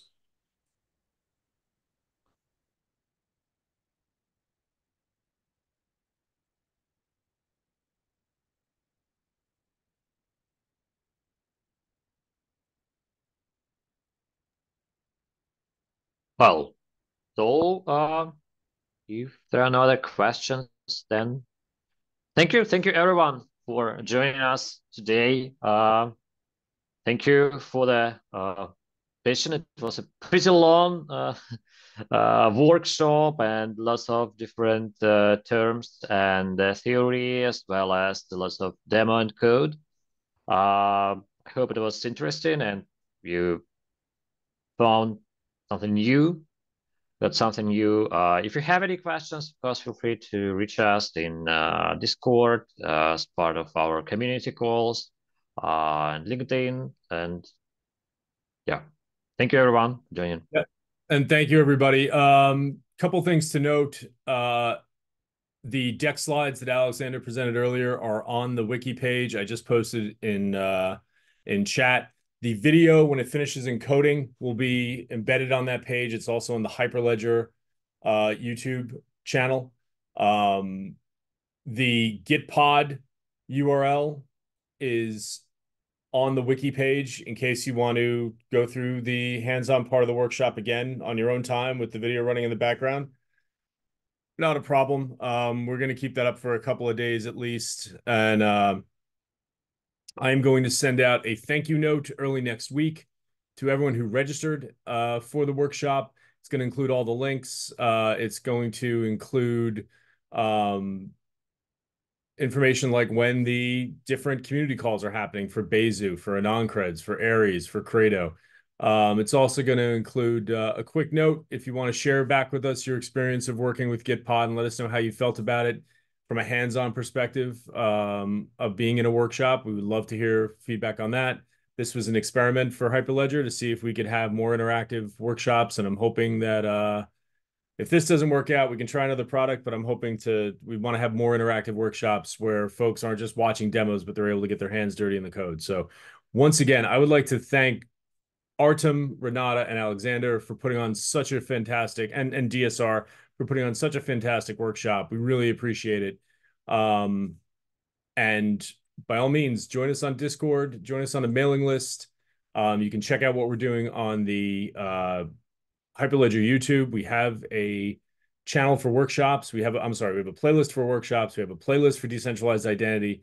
All of our community calls are put up there, and we would love to see you. And uh, if you have any questions, we'd love to help. And if you'd like to start using these these tools and products, we would love to see you do that. Um, with that, I'm going to thank you all for attending, and I'm going to end this workshop. Thanks, everybody. Really appreciate all the questions and interaction from uh, the attendees. Thank you very much. Let's give everybody a second. Cases. Thank you. Thank you, Lord.